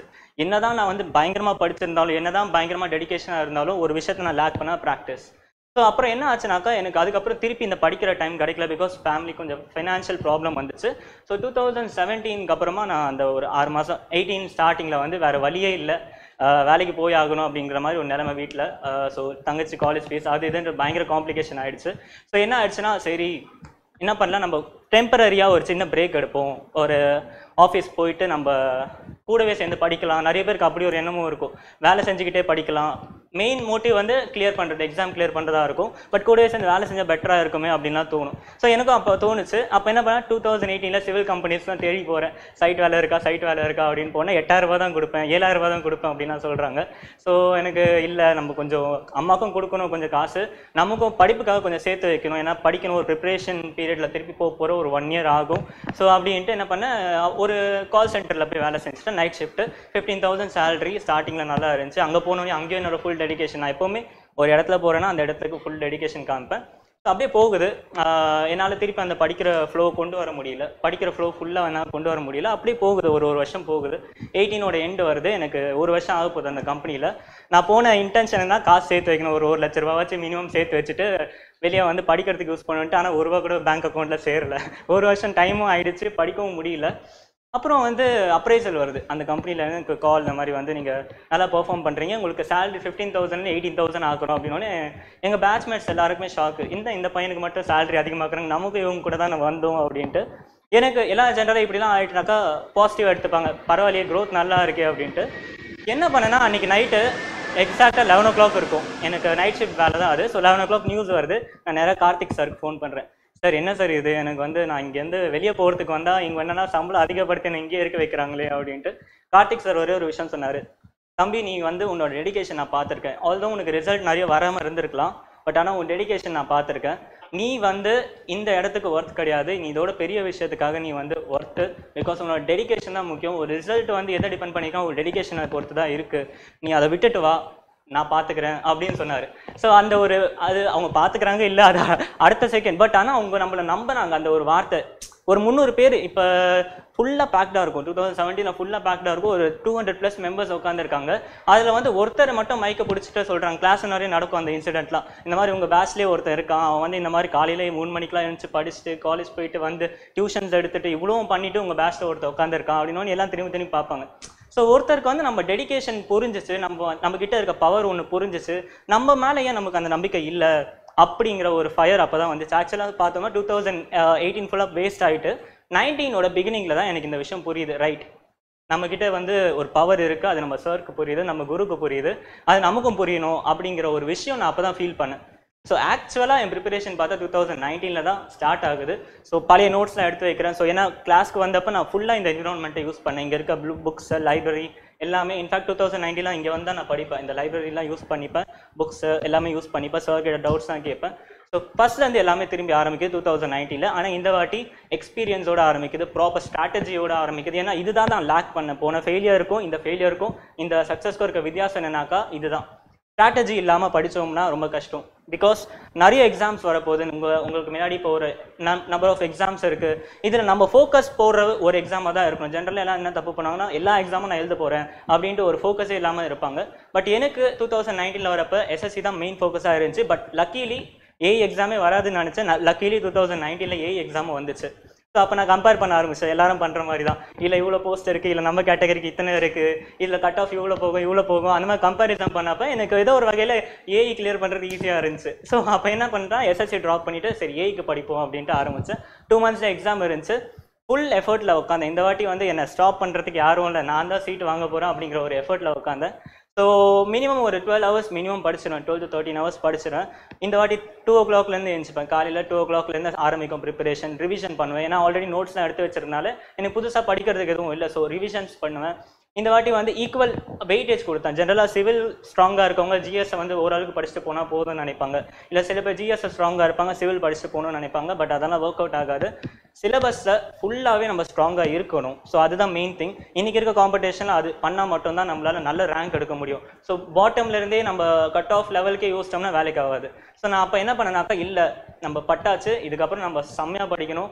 சிவில் ஜிஎஸ் ஃபீல்டு எல்லாத்தையும் வந்து கரைச்சி குடிச்சிடணும் அப்படின்ட்டு ஃபுல்லாக எஃபர்ட் உட்காரேன் ஸோ நோட்ஸ் எடுத்து ரிவிஷன் பண்ணுறேன் இன்ஸ்டியூட்டில் அந்த ஃபார்முலாஸ் எதெல்லாம் படிக்கணுமோ அதெல்லாம் படிக்கிறேன். ரொம்ப டெப்த்தாக படிக்கல. அதுதான் ஒரு விஷயம். நிறைய பேர் டெப்த்து டெப்த்து டெப்த்னு டெப்த்துக்குள்ளே போயிடுவீங்க. டெப்த்தாக படிக்கக்கூடாது எந்த கான்செப்ட் டெப்த்தாக படிக்கணுமோ அதை டெப்த்தாக படிக்கணும். எதை ஃபார்முலா பேஸ்ட் போதும் இந்த லெவலுக்கு படித்தா போதுமோ அதை அந்த அளவுக்கு படித்தா போதும். ஸோ அதெல்லாம் உங்களுக்கு ஜென்ரலாக கிளாஸ் படிக்கும்போது சாரே சொல்லிடுவாங்க. ஸோ அதை பற்றி நீங்கள் ரொம்ப யோசிக்க தேவையில்லை. ஸோ அந்த மாதிரி வந்து நான் சிவில்லாம் டீட்டெயிலாக படிக்க ஆரம்பிக்கிறேன். ஒரு சிக்ஸ் மந்த்ஸ் ஆகுது எனக்கு. ஒரு ஃப்ளோ திருப்பி பிடிக்கிறதுக்கு. சிவில்லாம் ஃபுல்லாக ரிவைஸ் பண்ணிவிட்டு GS history geography polity economics biology physics chemistry current affairs இவ்வளோ விஷயங்கள் இருக்குது ஸோ இது எல்லாத்தையும் படித்து முடிக்கிறேன் டூ மந்த்ஸ் எக்ஸாம் வருது. ப்ரிப்பேர் ஆகிட்டேன் ஃபுல்லாக ப்ரிப்பேர் ஆகிட்டேன் வேறு லெவல் கான்ஃபிடென்ஸாக எக்ஸாம் எழுதுறேன். ஏஇ எக்ஸாம் வந்துடுச்சு. எனக்கு ரிட்டர்ன்லேயே ஸ்கோர் வந்து த்ரீ சிக்ஸ்டி வந்துடுச்சு. ஸோ அப்போ த்ரீ சிக்ஸ்டினா ஒரு நல்ல ஸ்கோர் அதுலேயே நான் டாப் ஃபைவ் ஹண்ட்ரடில் வந்துட்டேன்ற மாதிரி. ஸோ பயங்கர கான்ஃபிடன்ஸ் என்னடா த்ரீ சிக்ஸ்டி வந்துடுச்சு இதுக்கப்புறம் நம்மளை யாரும் ஒன்றும் பண்ண முடியாது கிளியர் பண்ணிடுவோம் அப்படிங்கிற ஒரு பயங்கரமான கான்ஃபிடன்ஸ் ஏன்னா இன்டர்வியூவில் சும்மா போய் உட்காந்து கொட்டை விட்டுட்டு வந்தால் கூட ஃபார்ட்டி செவன் மார்க்ஸ் போட்டுருவாங்க. ஸோ எப்படியோ ஃபோர் ஹண்ட்ரட் ப்ளஸ் வந்துடும் அப்படிங்கிற ஒரு கான்ஃபிடன்ஸ் ஸோ என்ன பண்ணிட்டேன்னா ஓகே இதுக்கப்புறம் இதுக்கு எக்ஸாம் எழுதிட்டு விட்டுறலாம் அப்படின்ட்டு ஏ எக்ஸாம் எழுதின அடுத்த நாள்னு வந்து அப்ளிகேஷன் ஃபார்ம்ஸ் எல்லாத்தையும் நெக்லெக்ட் பண்ணிட்டேன். இதுக்கப்புறம் எதுக்கு ஃபில் பண்ணணும்? வேண்டாம் வேண்டாம் அப்படின்ட்டு எல்லாத்தையுமே ஃபில் பண்ணுறதை விட்டுட்டு சிக்ஸ் மந்த்ஸ் ஆகுது இன்டர்வியூலாம் முடியுது. இன்டர்வியூவில் ஒரு பெரிய பிளண்டர் இன்டர்வியூ வந்து சூப்பராக பண்ணியிருந்தேன். ஆக்சுவலாக சொல்லணும்னா சூப்பர் குட்டாக பண்ணியிருந்தேன். எல்லாருக்குமே பதினஞ்சு நிமிஷம் இன்டர்வியூ நடக்குன்னா எனக்கு நாற்பது நிமிஷம் இன்டர்வியூ நடந்துச்சு. ஸோ அவங்களும் கேட்குறவங்களுக்கும் ஜாலியாக இருந்துச்சு. ஆன்சர் பண்ணுற எனக்கும் செம்ம ஜாலியாக இருந்துச்சு. அப்படி தான் போச்சு. பட் ஆனால் ஒரு வேறு லெவலில் ஒரு மிஸ்டேக் ஒரு பிளண்டர் பண்ணும். ஸோ இன்டர்வியூக்குன்னு நான் ஒரு நாள் தனியாக வரப்போ நான் உங்ககிட்ட அதை பற்றி பேசுகிறேன் ஒரு இன்டர்வியூவில் வந்து டெக்னிக்கலாக எவ்வளோ ஸ்ட்ராங்காக இருக்கணுன்றதை பார்க்க மாட்டாங்க. பிஹேவியரும் பார்ப்பாங்க. நம்ம வந்து சின்ன சின்ன விஷயங்கள் அந்த டைமில் யோசிக்கிறது கூட அவ்வளோ பெரிய இம்பாக்ட் கொடுக்குன்றது எனக்கு அப்போ தான் புரிஞ்சு ஸோ இன்டர்வியூட ரிசல்ட் வருது. அதை பார்த்தா மூவாயிரம் பேரில் கடை மூணு பேருக்கு மட்டும் தான் எனக்கு கொடுத்த மார்க் போட்டிருந்தாங்க. தேர்ட்டி செவன் சம்திங் வந்துருச்சு ஸோ ஃபைனல் கட் ஆஃப் எனக்கு பாயிண்ட் ஃபைவ் மார்க்ஸ் மிஸ் ஆகுது. ஸோ இதுதான் நம்பி இருந்தேன் ஆக்சுவலாக இது ஒரு பெரிய ஃபெயிலியர் என் லைஃப்பில் கேட் எக்ஸாம் ஃபெயில் ஆனது கூட எனக்கு பெருசாக தெரியல.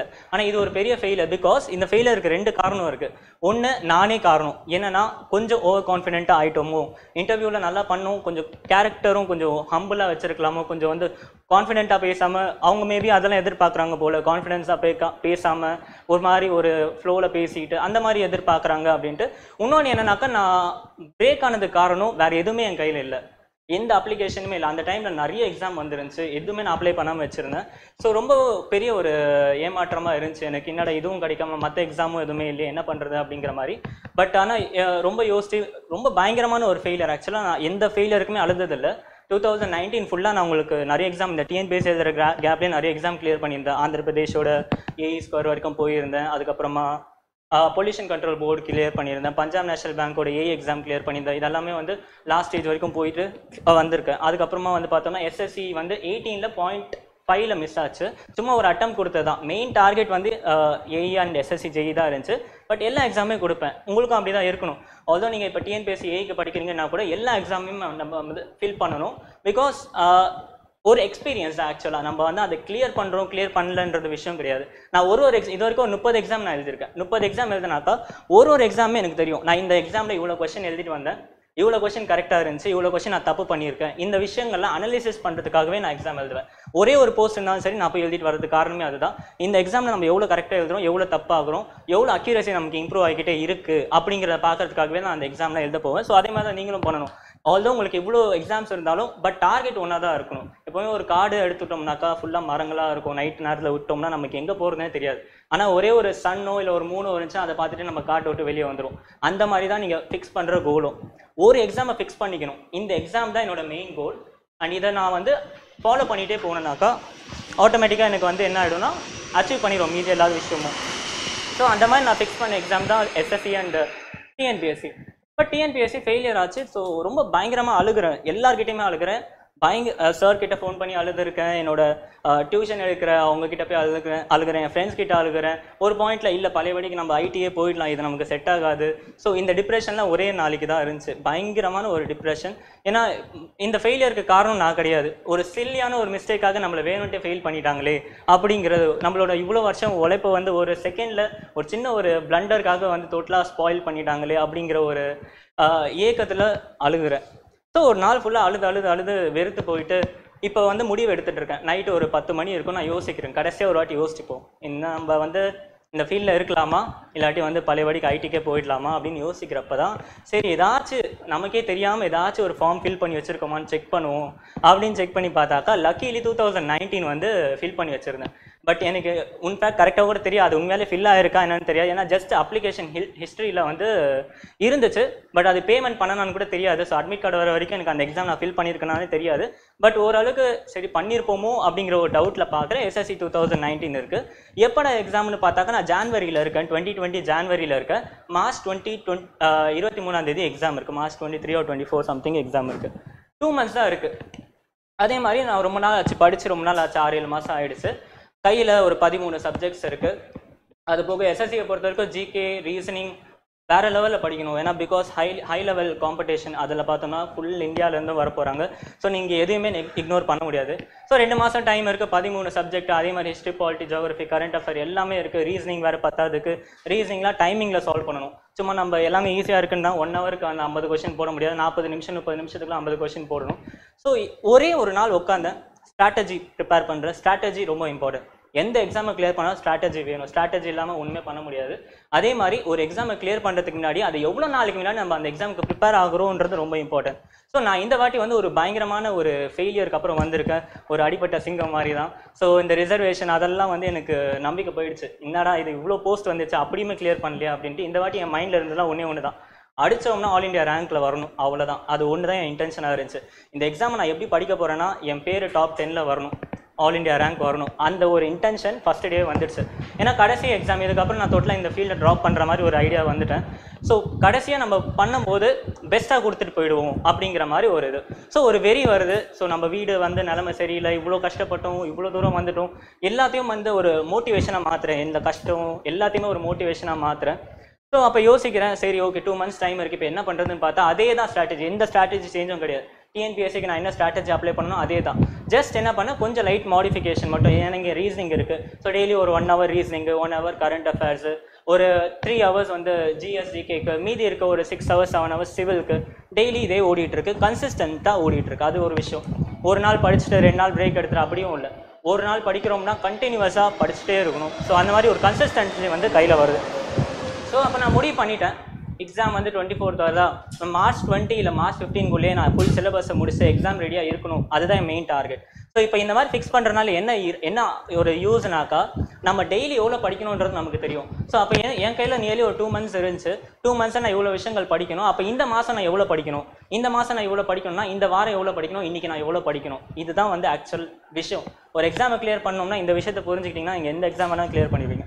ஸோ ஒன்ஸ் எனக்கு இது தெரிஞ்சு அப்போ என்ன பண்ணிட்டேன்னா உட்காந்து ஸ்ட்ராட்டஜி டைம் டேபிள் நிறைய பேர் மிஸ் பண்ணுற ஒரு விஷயம் டைம் டேபிள் தான். டைம் டேபிள் நான் அடுத்த நாள் என்ன படிக்க போகிறேன் பன்னெண்டு மணிக்கு என்ன டாபிக் படிப்பேன்? மூணு மணிக்கு என்ன டாபிக் படிப்பேன்? ஆறு மணிக்கு என்ன டாபிக் படிப்பேன்? இந்த லெவலில் நம்மளால் டைம் டேபிள் ப்ரிப்பேர் பண்ண முடியும். இது எப்போனா நம்ம இந்த மாதிரி கிளாஸிஃபை பண்ணாதான். ஒரு ஃப்ளோ சார்ட் போடணும் டூ மந்த்ஸில் இவ்வளோ லெசன்ஸ் இருக்குது ஒன் மந்த்தில் நான் இவ்வளோ முடிப்பேன். அடுத்த மாதம் இவ்வளோ முடிப்பேன். இந்த மாதம் நான் இவ்வளோ முடிக்கணும்னாக்கா இந்த வாரம் நான் இதெல்லாம் பண்ணணும். இந்த வாரம் இதெல்லாம் பண்ணணும்னா இன்னைக்கு நான் இத்தனை லெசன் படிக்கணும். இத்தனை நிமிஷம் படிக்கணும். இவ்- இத்தனை ஹவர்ஸ் படிக்கணும் அப்படின்ட்டு.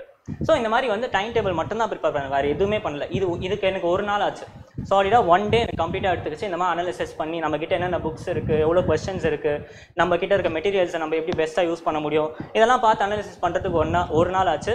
ஆனால் ஒன்ஸ் அந்த டைரி அந்த பிளான் எல்லாமே ஃபாலோ பண்ணி வச்சிட்டிங்கன்னா திரும்பவும் நீங்கள் இதை பற்றி யோசிக்க வேண்டிய அவசியமே இல்லை. நீங்கள் அடுத்து என்ன பண்ணணும்னா ஜஸ்ட் உங்கள் பிளானை ஃபாலோ பண்ணிகிட்டே போகணும். டைரியில் நாளைக்கு தூங்குற இன்றைக்கி தூங்குறதுமே நாளைக்கு என்னென்ன பண்ண போகிறோங்கிறத டீட்டெயிலாக வந்து ஓகே நான் டூ ஓ கிளாக் ஏஞ்சிருவேன். டூ ஓ கிளாக் ஏஞ்சி ஃபோர் ஓ கிளாக் வரைக்கும் ரிவிஷன் பண்ணுவேன். ஃபோர் டு ஃபைவ் வந்து என்னோட ஜிஎஸ் பார்ட் பண்ணுவேன். Five to sorry six to seven வந்து கொஞ்சம் அந்த தூக்கம் வர டைம் எனக்கு காலையில் டைமில் தூக்கம் அப்போ என்ன பண்ணால் கொஞ்சம் இன்ட்ரெஸ்டிங் ஏதாவது படிப்போம். அப்போ ரீசனிங்லாம் சால்வ் பண்ணலாம். கொஞ்சம் பசில் மாதிரி இருக்கும். நம்ம சால்வ் பண்ணுறது தெரியாது படிக்கிறது ஈஸியாக இருக்கும். ஸோ இந்த மாதிரி வந்து நம்ம படிக்கிறது டைமை கூட நம்ம அனலிசிஸ் பண்ணணும். எந்த டைம் நம்ம கொஞ்சம் மந்தமாக இருப்போம்? எந்த டைம் ரொம்ப ஆக்டிவாக இருப்போம்? அப்படிங்கிற விஷயத்தையும் பார்க்கணும். ஜென்ரலாக நான் வந்து மதியம் டைமில் கொஞ்சம் மந்தமாக இருப்பேன். அவ்வளோ எனக்கு மண்டையில் ஏறாது. காலையில் டைமில் ரொம்ப ஸ்ட்ராங்காக இருப்பேன். அப்போ காலையில் டைமில் நான் என்ன பண்ணிடுறேன்னா என்னோட வீக் சப்ஜெக்ட்ஸாக ஃபிக்ஸ் பண்ணிப்பேன். ஃபார் எக்ஸாம்பிள் எனக்கு ஸ்ட்ரக்சரல் அனாலிசிஸ் ஸ்டீல் இதெல்லாம் கொஞ்சம் வீக்காக இருக்கும். ஸோ இதெல்லாம் கஷ்டமான சப்ஜெக்ட்டும் அது என்னோட ஸ்ட்ராங்கஸ்ட் டைமில் யூஸ் பண்ணிப்பேன். மதிய நேரத்துலலாம் ரொம்ப முக்கியமான சப்ஜெக்ட்ஸ் தான் இருக்கும். இரிகேஷனு இந்த தியரட்டிக்கலாக இந்த பில்டிங் மெட்டீரியல்ஸ் இந்த மாதிரி சப்ஜெக்ட்ஸ் தான் மதிய நேரத்தில் படிப்பேன். ஸோ அப்போ கொஞ்சம் நமக்கு வந்து அந்த ப்ரெஷர் தெரியாது. படிக்கிற ப்ரெஷர் தெரியாது. ஸோ இந்த மாதிரி வந்து நம்மளோட எல்லா விஷயத்தையுமே அனலைசிஸ் பண்ணணும். நம்ம எப்போ ஸ்ட்ராங்காக இருப்போம் எப்போ வீக்காக இருக்கும் ஸ்ட்ராங்காக இருக்கப்போ என்ன சப்ஜெக்ட் வீக்காக இருக்கப்போ என்ன சப்ஜெக்ட் இந்த மாதிரி விஷயத்தெல்லாம் அனலைசிஸ் பண்ணிவிட்டு எல்லாத்தையுமே ரெக்கார்ட் பண்ணணும். ஏன்னா மறந்துடுவோம் ஏன்னா இன்றைக்கி இருக்க மோட்டிவேஷன் நாளைக்கு கண்டிப்பாக இருக்காது. ஸோ இன்றைக்கி நீங்கள் இந்த இது பார்க்கும்போது உங்களுக்கு ஒரு மோட்டிவேஷன் வரும். நாளைக்கே தூங்கி எழுந்திங்கன்னா எல்லா மோட்டிவேஷனும் ஃபுல்லாக போயிடும். நான் வந்தனானே டவுட் ஆகிடும் ஸோ வந்து முக்கியமாக இதை ரெக்கார்ட் பண்ணிக்கணும். நமக்கு அந்த ஒரு சில விஷயங்கள் தோன்றப்ப அதை ரெக்கார்ட் பண்ணிக்கணும். நான் அப்படி என் டைரி யூஸ் பண்ணிப்பேன். அப்போ அந்த டைரியில் வந்து டீட்டெயிலாக எழுதிடுவேன் ஓகே இப்படிலாம் இதெல்லாம் யோசிச்சு வச்சேன். இன்ஃபேக்ட் என்னோட ஸ்ட்ராட்டஜி எல்லாமே டைரியில் இருக்கும். அக்டோபரில் நான் இதெல்லாம் முடிக்கணும். செப்டம்பரில் இதெல்லாம் முடிக்கணும். அந்த மாதிரி ஃபுல் டீட்டெயிலுமே ரெக்கார்ட் பண்ணி வச்சிட்டிங்கன்னா அப்போ நீங்கள் ஒரு வேளை லோவாக ஃபீல் பண்ணுறப்பெல்லாம் நீங்கள் அதை திருப்பி பார்க்கும்போது உங்களுக்கு தோணும். ஆமாம் நம்ம இதுதான் இதுதான் நம்ம டார்கெட்டு நம்ம இங்கே தான் வரணும். இப்படி இருந்தோம்னா ஒர்க் அவுட் ஆகாது. ஸோ இதுக்கேற்ற மாதிரி நம்ம வந்து பாத்தை வந்து க்ரியேட் பண்ணிட்டு போகணும். ஒரு கிளியர் கட்டான ஒரு பாத் வந்து உங்களுக்கு கிடைக்கும். ஸோ அப்படி ஆரம்பித்தேன் ஸோ நான் நினச்ச மாதிரியே வந்து எல்லாமே ஒர்க் அவுட் ஆச்சு. பிளான்ஸ் எல்லாமே ஒர்க் அவுட் ஆச்சு. ஸோ எக்ஸாமுக்கு நான் சொன்ன மாதிரியே ஒரு அஞ்சு நாள் முன்னாடி ரெடி ஆகிட்டேன் எக்ஸாம் ரெடி ஆகிட்டேன் இப்போயே எக்ஸாம் வெயிட்டாக எழுத போகிறேன்ற மாதிரி ஒரு கான்ஃபிடென்ஸு டெஸ்ட் சீரிஸ் கண்டினியூஸாக டெஸ்ட் சீரிஸ் நிறைய எப்படின்னா நான் ப்ரிலிம்ஸ்க்கு மட்டுமே மினிமம் ஒரு முப்பது டெஸ்ட் சீரிஸ் ஃபுல் டெஸ்ட் எடுத்திருப்பேன்.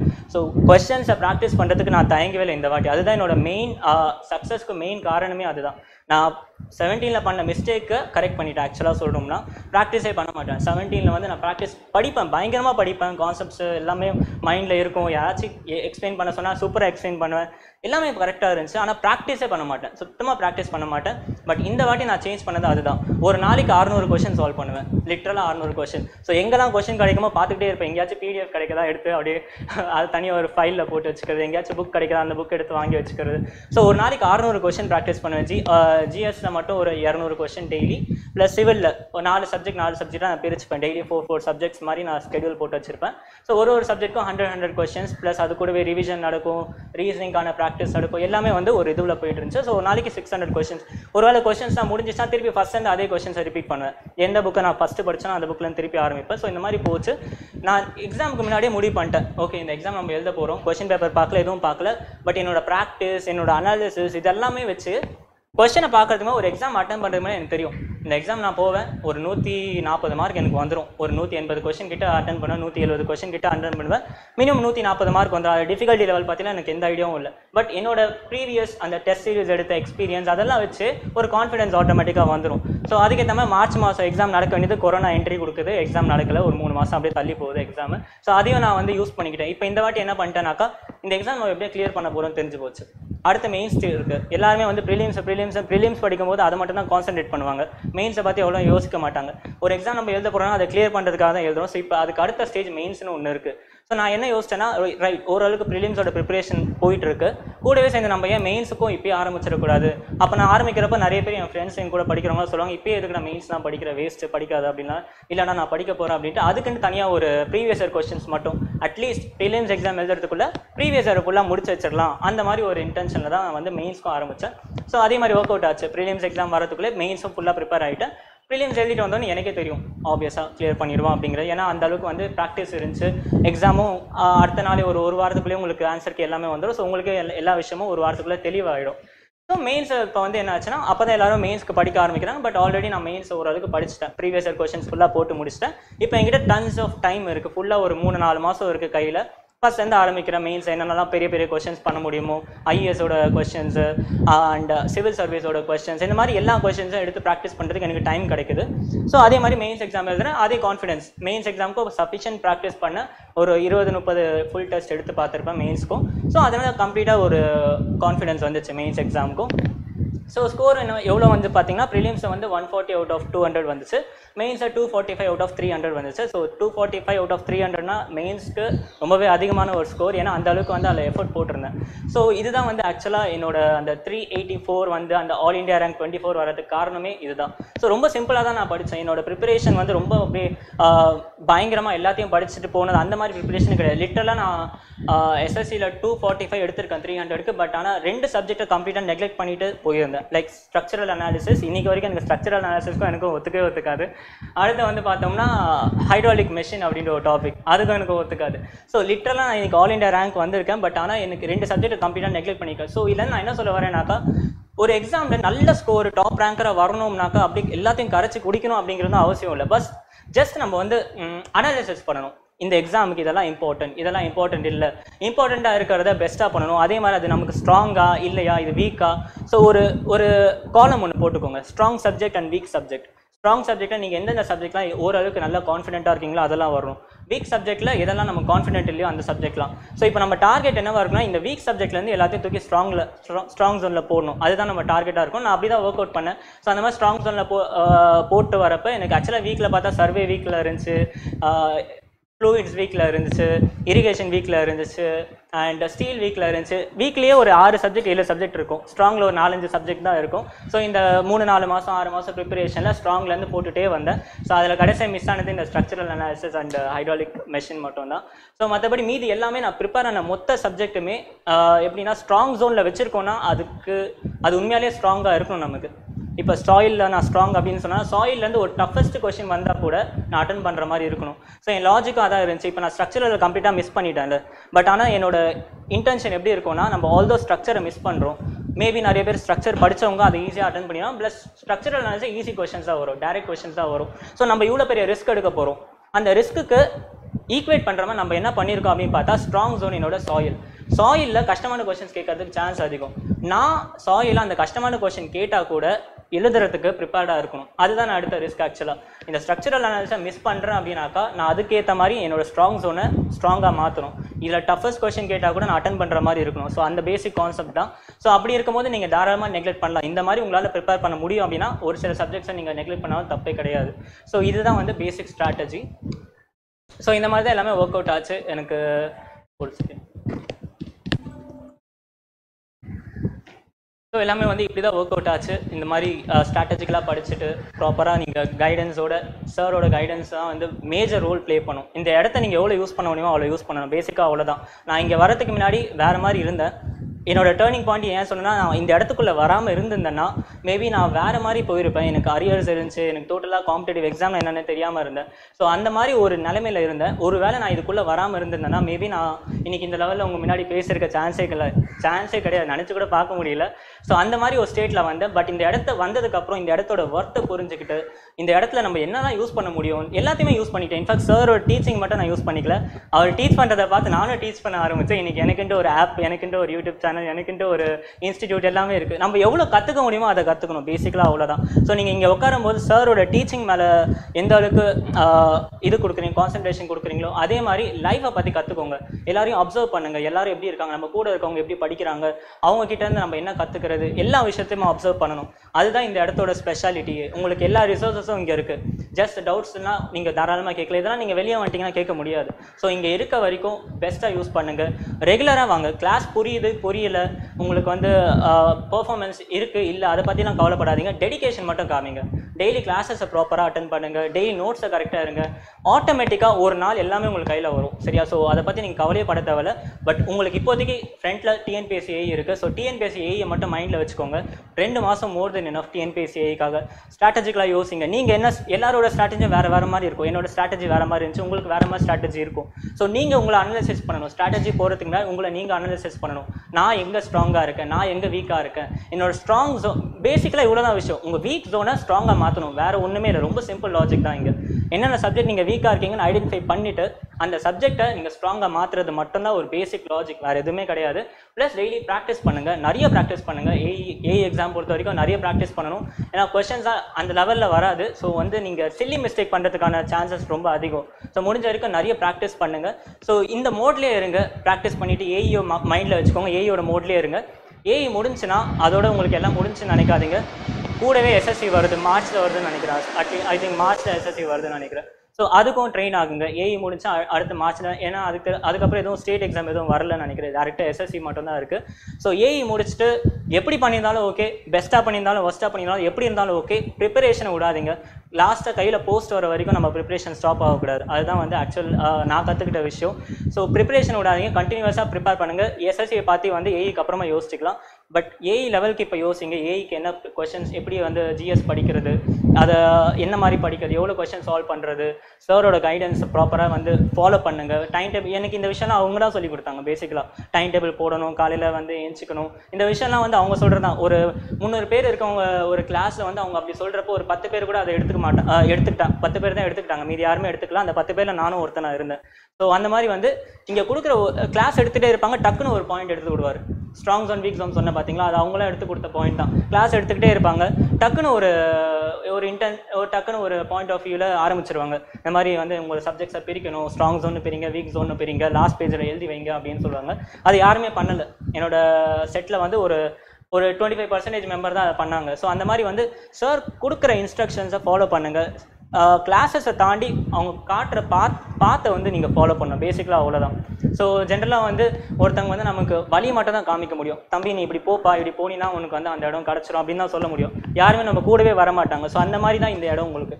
இந்த இடம் உங்களுக்கு அதை தான் பண்ண போகுது. பேசிக்கலாக அவங்க உங்கள் கூட வந்து உங்கள் வீட்டில் உட்காந்து உங்களுக்கு சொல்லிக் கொடுக்க போகிறதில்ல உங்கள் கையை பிடிச்சி உங்களுக்கு டெஸ்ட் சீரியஸ் எடுக்க வைக்க போகிறது அதெல்லாம் எதுவுமே பண்ண போகிறதில்ல தம்பி நீங்கள் வாங்கப்பா இவ்வளோ இருக்குது இங்கே இப்படி போங்க இதை படிங்க அப்படி படிங்கன்னு சொல்லுவாங்க. பட் அதை நம்ம எந்த அளவுக்கு நம்ம அதை அப்ளை பண்ணுறோம் அப்படிங்கிறது தான் பேசிக்கலாக ஒரு ஸ்டூடெண்ட்டோட சக்ஸஸ் டுவெண்ட்டி பர்சன்டேஜ் தான் டீச்சர் டீ டீச்சரோட இது இருக்கும் எஃபர்ட் இருக்கும்.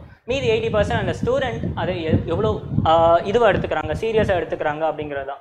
ஸோ நீங்கள் இந்த இடத்தோட ஒர்த்தை புரிஞ்சுக்கிட்டு இந்த டைம் உங்களுக்கு போச்சுன்னா திருப்பி கிடைக்காது. நான் அதுவும் திருப்பி சொல்லிக்கிறேன். இன்றைக்கி நீங்கள் ஃப்ரீயாக உட்காந்துருக்கீங்க படிக்கிறது உங்களுக்கு டைம் கொடுத்துருக்காங்க உங்கள் வீட்டில் சப்போர்ட் பண்ணுறாங்க ஸோ அந்த விஷயம்லாம் இருக்குது பட் இங்கே இது எவ்வளோ நாளைக்கு இருக்கும்னு சொல்ல முடியாது. ஸோ நீங்கள் இங்கே இருக்க இந்த பா பாட்டை இந்த part of your life use பண்ணிக்கோங்க. பெஸ்ட்டாக யூஸ் பண்ணுங்க அவ்வளோதான் சொல்லுவேன். ஏன்னா அதுக்கப்புறம் நான் பட்டிருக்கேன். லைக் எனக்கும் அந்த மாதிரி டைம் கிடச்சிச்சு பட் என்னால் அந்த அந்த டைம்குள்ளே பெர்ஃபார்ம் பண்ண முடியாதனால எனக்கு எவ்வளோ பெரிய கேப் கிடச்சிதுன்றதை வந்து நான் ஃபீல் பண்ணேன். ஸோ அது திருப்பி நானாக இருக்கும் திருப்பி வந்துட்டேன். நிறைய பேரால் திருப்பி வரவும் முடியாமல் அப்படியே போனவங்களா இருக்காங்க. ஸோ வந்து நீங்கள் கிடச்சிருக்க டைமை பெஸ்ட்டாக யூஸ் பண்ணுங்கள் அவ்வளோதான் ஸோ காம்படிஷனை பார்த்து யோசிக்காதீங்க கட் ஆஃப் பார்த்து யோசிக்காதீங்க போஸ்ட்டை பார்த்து யோசிக்காதீங்க.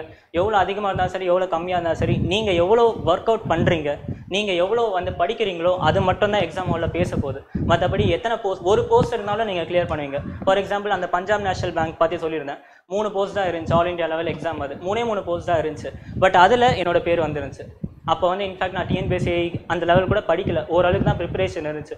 ஸோ பேசிக்கலாக போஸ்ட்டை பற்றியோ நிறைய இருக்குது கம்மியாக இருக்குது அதை பற்றி யோசிக்க யோசிக்காதீங்க. நான் ஆல் இந்தியா ரேங்க் வரணும். நான் ஸ்டேட் ரேங்க் வரணும். ஸ்டேட் ரேங்க் வரணும்னா எனக்கு எவ்வளோ ஸ்கோர் வேணும்? அந்த ஸ்கோர் வேணும்னா நான் எவ்வளோ எஃபோர்ட் போடணும்? அந்த எஃபோர்ட்டை போடுங்க. ஆட்டோமேட்டிக்காக எல்லாமே கிடச்சிரும். அவ்வளோதான்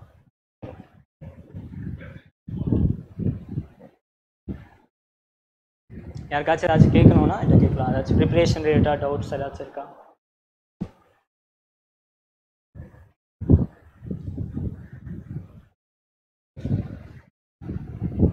எதுவாக இருந்தாலும் கேளுங்க. சும்மா எப்படி ஸ்டார்ட் பண்ணணும்? இல்லை வேறு ஏதாச்சும் மோட்டிவேட்டிங்காக ஏதாச்சும் பேசணும்? எதுவாக இருந்தாலும் கேளுங்க.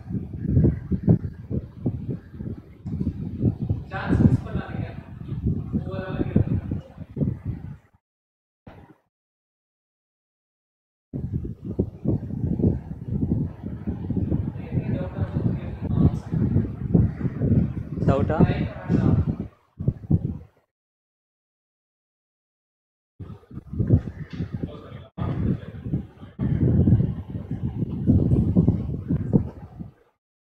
If you have any queries, யூடியூப்ல இருக்கவங்களும் சரி இங்கே இருக்கவங்களும் சரி can comment or like ask here anything to go no okay so hope என்னவா So-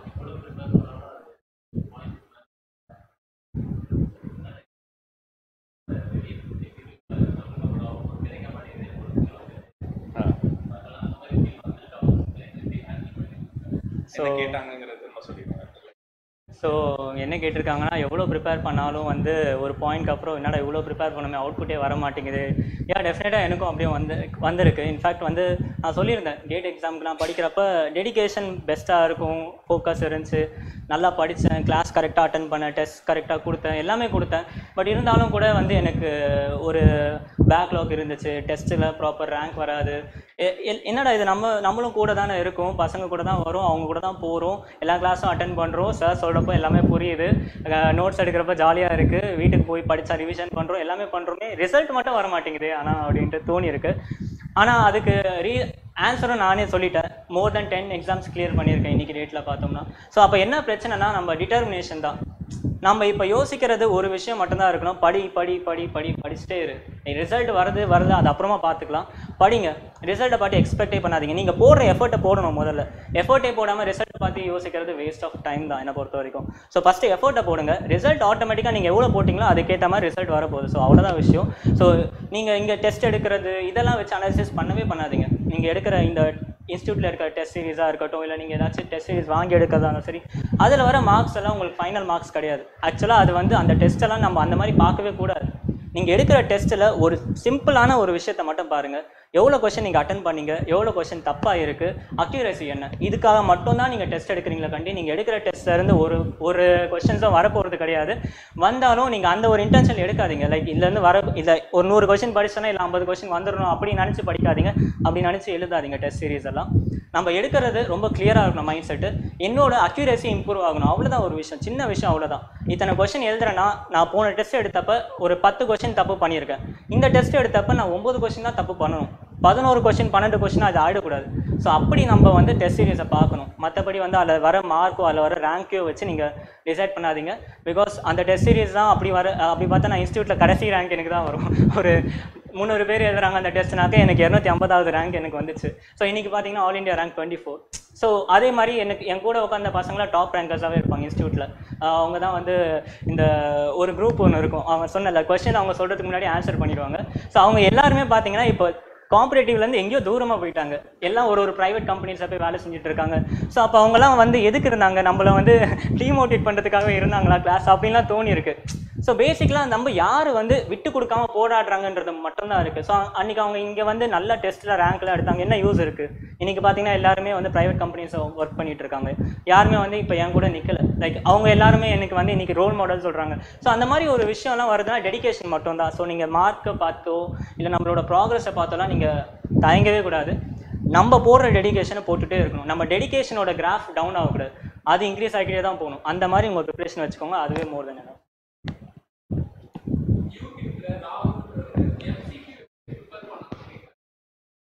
எம்சிக்யூ ப்ரிப்பேர் பண்ணுறதுக்கு லைக் ஃபர்ஸ்ட் ஆஃப் ஆல் நம்ம ஒரு கொஸ்டின் அட்டன் பண்ணால் ஃபஸ்ட்டு கான்செப்டுவலாக நம்ம கிளியராக இருக்கணும். ஸோ நீங்கள் வந்து உங்களோட பேஸை வந்து ஓரளவுக்கு ஸ்ட்ராங் பண்ணிக்கோங்க. அதுக்கு நான் எல்லாமே படிக்கணும் அப்படின்னு சொல்லலை. ஃபார் எக்ஸாம்பிள் ஒரு ஹண்ட்ரட் பர்சன்டேஜ் சிலபஸ் கவரேஜ் இருக்குன்னா அட்லீஸ்ட் நீங்கள் ஒரு செவன்ட்டி பர்சன்டேஜ் ஆச்சு Uh, டெஸ்ட் சீரீஸ் அந்த ப்ராக்டிஸ்லாம் பண்ணுறதுமோ ஒரு செவன்ட்டி பர்சன்டேஜ் ஆச்சும் நீங்கள் வந்து கவர் பண்ணியிருக்க மாதிரி வந்து வச்சுக்கோங்க.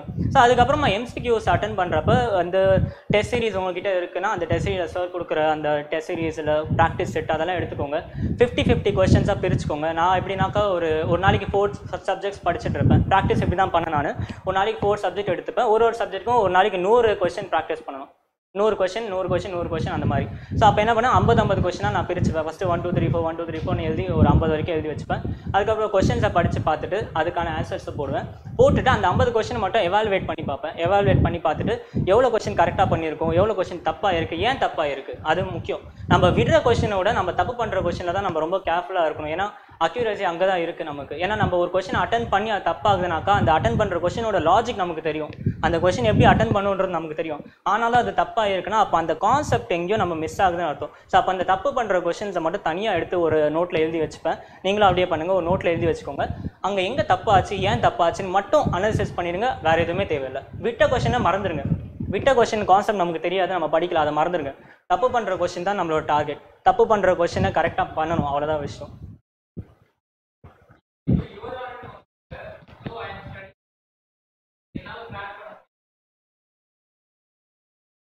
ஸோ யுவராணின்னு சொல்லியிருக்காங்க. எயிட் ஹவர்ஸ் தான் படிக்கிறேன். என்னால் ட்ராக் பண்ண முடியுமான்னு சொல்கிறாங்க நம்ம எவ்வளோ நேரம் படிக்கிறோன்றது பேசிக்கலாக வந்து விஷயமே கிடையாது. நீங்கள் வந்து எயிட் ஹவர்ஸ் படிக்கிறீங்க டுவெல் ஹவர்ஸ் படிக்கிறீங்க சிக்ஸ்டீன் ஹவர்ஸ் படிக்கிறீங்க அது பிரச்சனையே கிடையாது. நீங்கள் படிக்கிற அந்த எயிட் ஹவர்ஸை நீங்கள் ப்ராப்பராக யூஸ் பண்ணுறீங்களா நீங்கள் ஸ்ட்ராட்டஜி கரெக்டாக ப்ரிப்பேர் பண்ணியிருக்கீங்களா? எயிட் ஹவர்ஸ் நீங்கள் படிக்கிறீங்கன்னு சொல்கிறீங்களா அந்த எயிட் ஹவர்ஸை நீங்கள் எவ்வளோ ப்ரொடக்டிவாக யூஸ் பண்ணுறீங்க அது முக்கியம். எயிட் ஹவர்ஸ் நீங்கள் பிளான் போட்டிருப்பீங்க ஆனால் ஃபோர் ஹவர்ஸ் தான் படிப்பீங்க. அந்த மாதிரிலாம் இருக்கக்கூடாது. அந்த எயிட் ஹவர்ஸை நம்ம எப்படி ஸ்பிட் பண்ணியிருக்கோம்?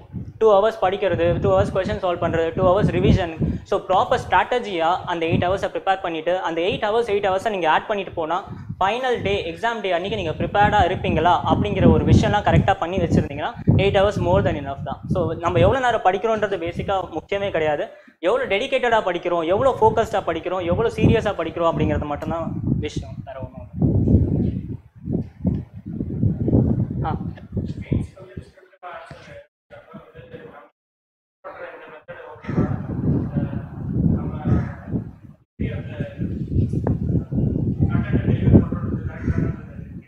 பேப்பர் வந்து மெயின்ஸ் பேப்பரில் வந்து எப்படி அது கண்டென்ட் எப்படி எழுதுறது? ரொம்ப ப்ளீஸிங்காக இருக்கணுமா? அந்த மாதிரி மீன் பண்ணுறீங்களா லைக் பார்த்தா பிடிக்கணும் அந்த மாதிரி? இல்லை வந்து நிறைய எழுதுறத பற்றி எனக்கு புரியல. என்ன கேட்க வரீங்கன்ட்டு சரியா?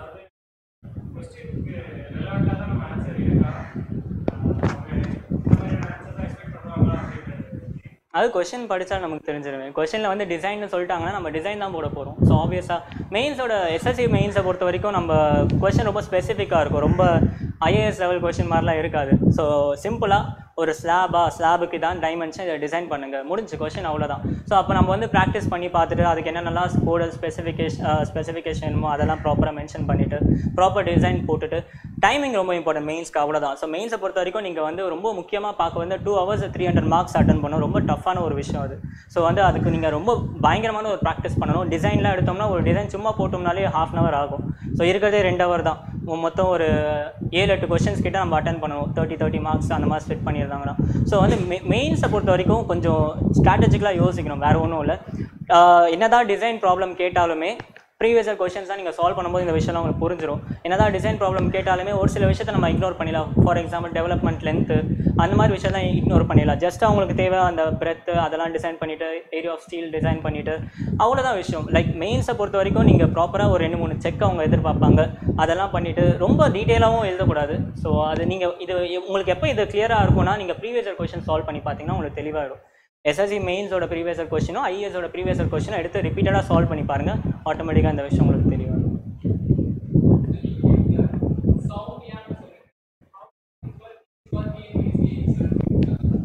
ஓகே ஸோ யூடியூப்பில் சௌமியான்னு சொல்லிட்டு டிஎன்பிஎஸ்சி ஏஇ வந்து ஜிஎஸ் எப்படி ப்ரிப்பேர் பண்ணியிருந்தேன்னு கேட்டிருந்தாங்களா? சி டிஎன்பிஎஸ்சி ஏஇக்கு நான் வந்து டெசாக் இன்ஸ்டியூட்டோட ஒரு ஜிஎஸ் புக்கு என்கிட்ட இருக்கும். ஸோ அந்த புக்கை வந்து நான் கம்ப்ளீட்டாக ரிவிஷன் பண்ணி வச்சுருந்தேன். கிளாஸஸும் அட்டன் பண்ணியிருக்கேன் நான். ப்ளஸ் அது ப்ளஸ் முக்கியமாக வந்து நான் ஜிஎஸ்க்கு வந்து சில புக்ஸ் வச்சுருந்தேன். நான் ஒரு uh, மனோரமா புக் அப்படின்ட்டு ஜிஎஸ்க்கு அப்புறம் யூடியூப் சேனல்ஸை பேசிக்கலாக நான் அந்த கரண்ட் அஃபேர்ஸ்க்குலாம் வந்து யூடியூப் சேனல்ஸை ஃபாலோ பண்ணேன். ஸோ எனக்கு பேசிக்கலாக கொஞ்சம் ஹிந்தி தெரியும் அப்படிங்கிறனால கொஞ்சம் ஹிந்தி நார்த் இந்தியன் சேனல்ஸ் ஒரு சில சேனல்ஸ் தான் இருந்துச்சு. ஸோ கரண்ட் அஃபேர்ஸ்க்கு நான் மோஸ்ட்டாக அதுதான் யூஸ் பண்ணேன். ஸோ ஜிஎஸை பொறுத்த வரைக்கும் நான் ரொம்ப டெப்த்லலாம் படிக்கல. என்சிஆர்டி புக்ஸ் தான் படித்தேன் நானும் என்சிஆர்டி ஸ்கூலில் தான் சிபிஎஸ்சி தான் படித்தேன் ஸோ எங்கிட்ட என்சிஆர்டி புக்ஸ் எல்லாமே இருந்துச்சு. ஸோ பேசிக்கலாக என்சிஆர்டி புக்ஸில் இருக்க ஃபிசிக்ஸ் கெமிஸ்ட்ரி பார்ட் படித்தேன் ப்ளஸ் நான் டியூஷன்ஸ் தான் எடுத்ததுனால எனக்கு அந்த ஃபிசிக்ஸ் கெமிஸ்ட்ரி பார்ட்லாம் ஸ்ட்ராங்காக இருந்துச்சு. ப்ளஸ் ஹிஸ்ட்ரி ஜாகிரஃபி எல்லாமே என்சிஆர்டி புக்ஸை ஃபாலோ பண்ணி நான் படித்தேன் ப்ளஸ் கான்செப்ட்ஸ்க்கு நான் ரொம்ப டைம் எடுத்துக்கல. லைக் ரொம்ப சீக்கிரமாகவே முடிச்சிட்டேன். ஒரு ஒன் மந்த்துக்குள்ளேயே சும்மா ஒரு என்னென்ன தெரிஞ்சால் போதும் அப்படிங்கிற மாதிரி ஃபஸ்ட்டு கான்செப்ட்டுக்குன்னு ஒரு ஒரு மாதம் ஒதுக்கிடுங்க. அதுக்கப்புறமா நீங்கள் சால்வ் பண்ணுற கொஷின்ஸ் தான் பேசிக்கலாம் ஸோ பாஸ்ட் தேர்ட்டி இயர்ஸ்க்கு ஒரு புக் ஒன்று இருக்கும். ப்ரீவியஸ் கொஷின்ஸ் எல்லாமே இருக்கும். அது எஸ்எஸ்சிடி என்பிஎஸ்சி எல்லாம் இருக்கும். ஸோ அந்த மாதிரி ஒரு புக் இருந்துச்சுன்னா அந்த புக்கு வந்து அஃபோர்ட் பண்ண முடிஞ்சா வாங்கிக்கோங்க. இல்லாட்டி வந்து இன்டர்நெட்டில் சர்ச் பண்ணி பார்த்தாலே கிடைக்கும்.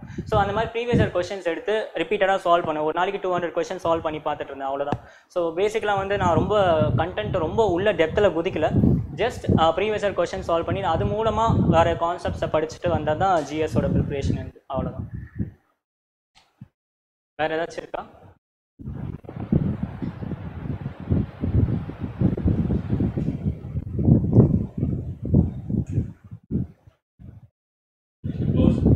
Thank you Vignesh. Thanks for coming here and sharing the wonderful experience ஏன் அப்படின்னா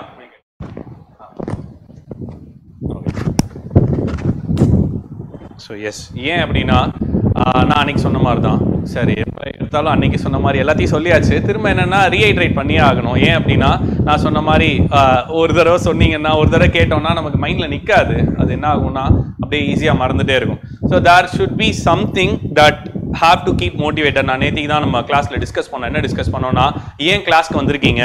ஓகே அப்படிங்கிறதுக்கு ஒவ்வொருத்தரும் ஒவ்வொரு பர்பஸ் இருக்கும். ஸோ நீங்கள் அந்த பர்பஸ் இப்போ இ- இந்த ஜாபை விட்டுட்டு நான் வேற எந்த ஜாபுக்கும் போக மாட்டேன். அல்லது எனக்கு இது வேணும் அப்படின்னு சொல்லி விடாமுயற்சி தான் இந்த இதோடது ஓகே இப்போ விக்னேஷோட ஸ்டோரி என்ன அப்படின்னா விடாமுயற்சி தான். இன்னும் ரெண்டு கேண்டிடேட் வருவாங்க. என்ன வருவாங்கன்னா நான் வந்தேன் ஒரு மூணு மாதம் தான் கோர்ஸ் அட்டன் பண்ணேன். இன்னும் மூணு மாதம் படித்தேன் ஆறே மாதத்தில் நான் கிளியர் பண்ணிட்டேன். அவ்வளோதான் சில பேர் சொல்லுவாங்க ரெண்டு மூணு வருஷம் உட்காரணும் எனக்கு அப்படிலாம் இல்லை அப்படிம்பாங்க. So time and effort works different to a person to person okay அதனால நான் முன்னாடி இது நம்ம டிஸ்கஸ் பண்ண மாதிரி எல்லா ஸ்ட்ராட்டஜியுமே எடுத்துக்கோங்க. ஒவ்வொருத்தர் டிஸ்கஸ் பண்ணுற ஸ்ட்ராட்டஜியும் எடுத்துக்கோங்க. The point is never ever give up அவ்வளோதான் அந்த ஒரே ஒரு பாயிண்ட் மட்டும்தான். நெவர் எவர் கிவ் அப் ஏன்னா நம்ம இது வரலன்னு சொல்லி விட்டுட்டு போறீங்க. டிஎன்பிசி படிக்கிறீங்க வரலன்னு சொல்லி விட்டுட்டு போறீங்க. விட்டுட்டு எங்க போக போறீங்க? இதோட பெட்டரா எங்க போறீங்களா என்ன? இதோட பெட்டரா ஒரு ஒரு லட்ச ரூபா ஜாபுக்கு போறீங்களா? தாராளமா போங்க. நான் எதுவும் வேணாம்னு சொல்லல. இதோட பெட்டரா கெரியர் ப்ராக்ரஷன் இருக்குமா? தாராளமா போங்க. நான் வேற எதுவுமே சொல்லலை. பட் திரும்பி இதை விட்டுட்டு எங்க போறீங்க? ஒரு சின்ன பிரைவேட் ஜாப்க்கோ ப்ராபப்ளி ஒரு டென் தௌசண்ட் ஃபிஃப்டீன் தௌசண்ட் அந்த மாதிரி தான் போறீங்க. அந்த மாதிரி போய் என்ன என்ன சாதிக்க போறீங்கன்னா எனக்கு புரியல. ஸோ இதோட பெட்டரான ஒரு ஆப்பர்ச்சுனிட்டி பாக்குறீங்க அப்படின்னா தாராளமா போங்க. உங்களுக்கு கேட் கிளியர் பண்ணிருக்கீங்க இதோட. ஐடியில் எம்மி கிடைக்குது. நான் ஒரு எக்ஸ்போஷருக்காக போறேன். போங்க. எஸ்எஸ்சி இன்னைக்கு கிளியர் பண்ண சப்போஸ் எனக்கு கிடைக்கல. நான் ஐஎஸ் ட்ரை பண்ண போறேன். போங்க. When you try for better things or when you go for better things கண்டிப்பா நீங்களே உங்க லைஃப்பை திரும்பி பார்க்கும்போது நீங்க ஒரு கண்டென்டடா ஹாப்பியா இருப்பீங்க. அதை விட்டுட்டு இன்னைக்கு வரல வரல நீங்க எல்லாரும் விட்டுட்டு விட்டுட்டு போறீங்கன்னா நாளைக்கு எதை எடுத்தாலும் இப்படிதான் நம்ம விட்டுட்டு போவோம். எந்த நீ- நீங்க ஃபீல்டை ஸ்விட்ச் பண்றேன்னு நினைக்கிறீங்க. நீங்க இந்த ஃபீல்டை விட்டுட்டு வேற ஃபீல்ட் போலாம்னு நினைக்கிறீங்க. மறுபடியும் என்ன பண்ணுவோம்னா அதையும் நம்ம விட்டுட்டு அடுத்து ஒரு அஞ்சு வருஷம் கழிச்சு எல்லாத்தையுமே ஃப்ரெஷ்ஷா ஸ்டார்ட் பண்ற மாதிரியே இருக்கும். அதனால don't do that okay so வரல அப்படின்னா அதை எப்படி வர வைக்கிறது அப்படிங்கிற வழியை தான் நம்ம பார்க்கணும் ஓகே ஸோ ஒரு இடத்த ரீச் ஆகுறதுக்கு நாலஞ்சு வழி எக்கச்சக்கமான வழிகள் இருக்கு ஓகே நீங்க சிம்பிளா நீங்க எடுத்து கூகுள் மேப்ஸை போட்டீங்கனாலுமே ஒரே ஒரு டெஸ்டினேஷனுக்கு அஞ்சு பாதை இருக்கு இல்லையா? உங்களுக்கு எந்த பாதை ஷார்ட்கட்டோ அல்லது உங்களுக்கு எந்த பாதை பிடிச்சிருக்கோ உங்களுக்கு எது ஃபீஸிபிளோ அதை தான் நம்ம சூஸ் பண்ணணும். ஸோ அல்டிமேட் பாயிண்ட் என்ன அப்படின்னா டெஸ்டினேஷன் ரீச் ஆகணும். ஸோ அதனால எல்லாருமே ஒரு பாயிண்ட்டை ஸ்டார்ட் பண்ணிட்டீங்கன்னா never ever give up okay if you are giving it up if you are giving up the whole process I am even with I am okay with that but achieve more than that இன்னைக்கு நீங்க இதை AI பெருசுன்னு நினைச்சு நீங்க வந்திருக்கீங்க. டெஃபினட்டா இதோட ஒரு பெரிய அச்சீவ்மெண்ட்ஸ் கண்டிப்பா இருக்கு லைஃப்ல நீங்க அதை நோக்கி போங்க. உங்களை யாருமே எதுவுமே சொல்ல போறது கிடையாது. ஏன் அப்படின்னா இது உங்களோட பேட்டர்ன் ஆயிரும். ஒரு விஷயத்த பண்ணுவீங்க பாதி தூரம் வந்து அட்டன் பண்ணுவீங்க பார்டர்ல போய் விட்டுருவீங்க. திரும்பி அடுத்த விஷயத்துக்கு திரும்ப மூவ் ஆக ஆரம்பிச்சிருவீங்க. திரும்பி அதையும் போவீங்க பார்டர் வரைக்கும் போவீங்க விட்டுருவீங்க. ஸோ இதெல்லாம் வந்து நம்ம ஒர்க் பண்ணி பார்த்தா தான் தெரியும். இன்னொன்று வெளியில இருந்துட்டு இது ஒர்க் அவுட் ஆகுமா ஆகாதா? நான் ஏஇக்கான கேண்டிடேட்டா நான் ப்ரிப்பேர் பண்ணிட முடியுமா இல்லையா? இன்னைக்கு இருக்கிற மேஜர் கொஸ்டின் என்ன தெரியுமா? ஸ்டூடெண்ட்ஸோட மேஜர் கொஸ்டின் ரெண்டு மாசம் தான் இருக்கு. இந்த ரெண்டு மாசத்துல நான் ப்ரிப்பேர் பண்ணி கிளியர் பண்ண முடியுமா முடியாதா? அப்படிங்கிறது தான் ஸ்டூடெண்ட்ஸோட பெரிய கொஸ்டின் நீங்க சொல்லுங்க முடியுமா? முடியுமா? நீங்க? முடியுமா? முடியுமா? ஃபைன் குட் ஓகே ஸோ இப்போ நீங்கள் முடியும்னு நினைக்கிறீங்க நம்பியிருக்கீங்க அதனால தான் நீ கிளாஸ் ரூம்ல வந்து உட்காந்துருக்கீங்க it is as simple as that நிறைய பேர் முடியாதுன்னு நம்ம நினைக்கிறாங்க ஸோ அதனால தான் என்ன பண்ணிக்கிறாங்க? ரெஃப்ரைன் பண்ணிக்கிறாங்க. ஸோ ஒரு பை சான்ஸ் நான் ஃபர்ஸ்ட் கேஸே எடுத்துக்கிறேன். முடியலன்னே வச்சுப்போம். அவங்களால கிளியர் பண்ண முடியல. பட் ஜூன் இருபத்தாறு அன்னைக்கு எக்ஸாம் எழுதிட்டு வந்ததுக்கு அப்புறம் அட்லீஸ்ட் ஒரு அறுபது எழுபது சதவீதம் சிலபஸையாவது முடிச்சு வச்சிருப்பாங்களா?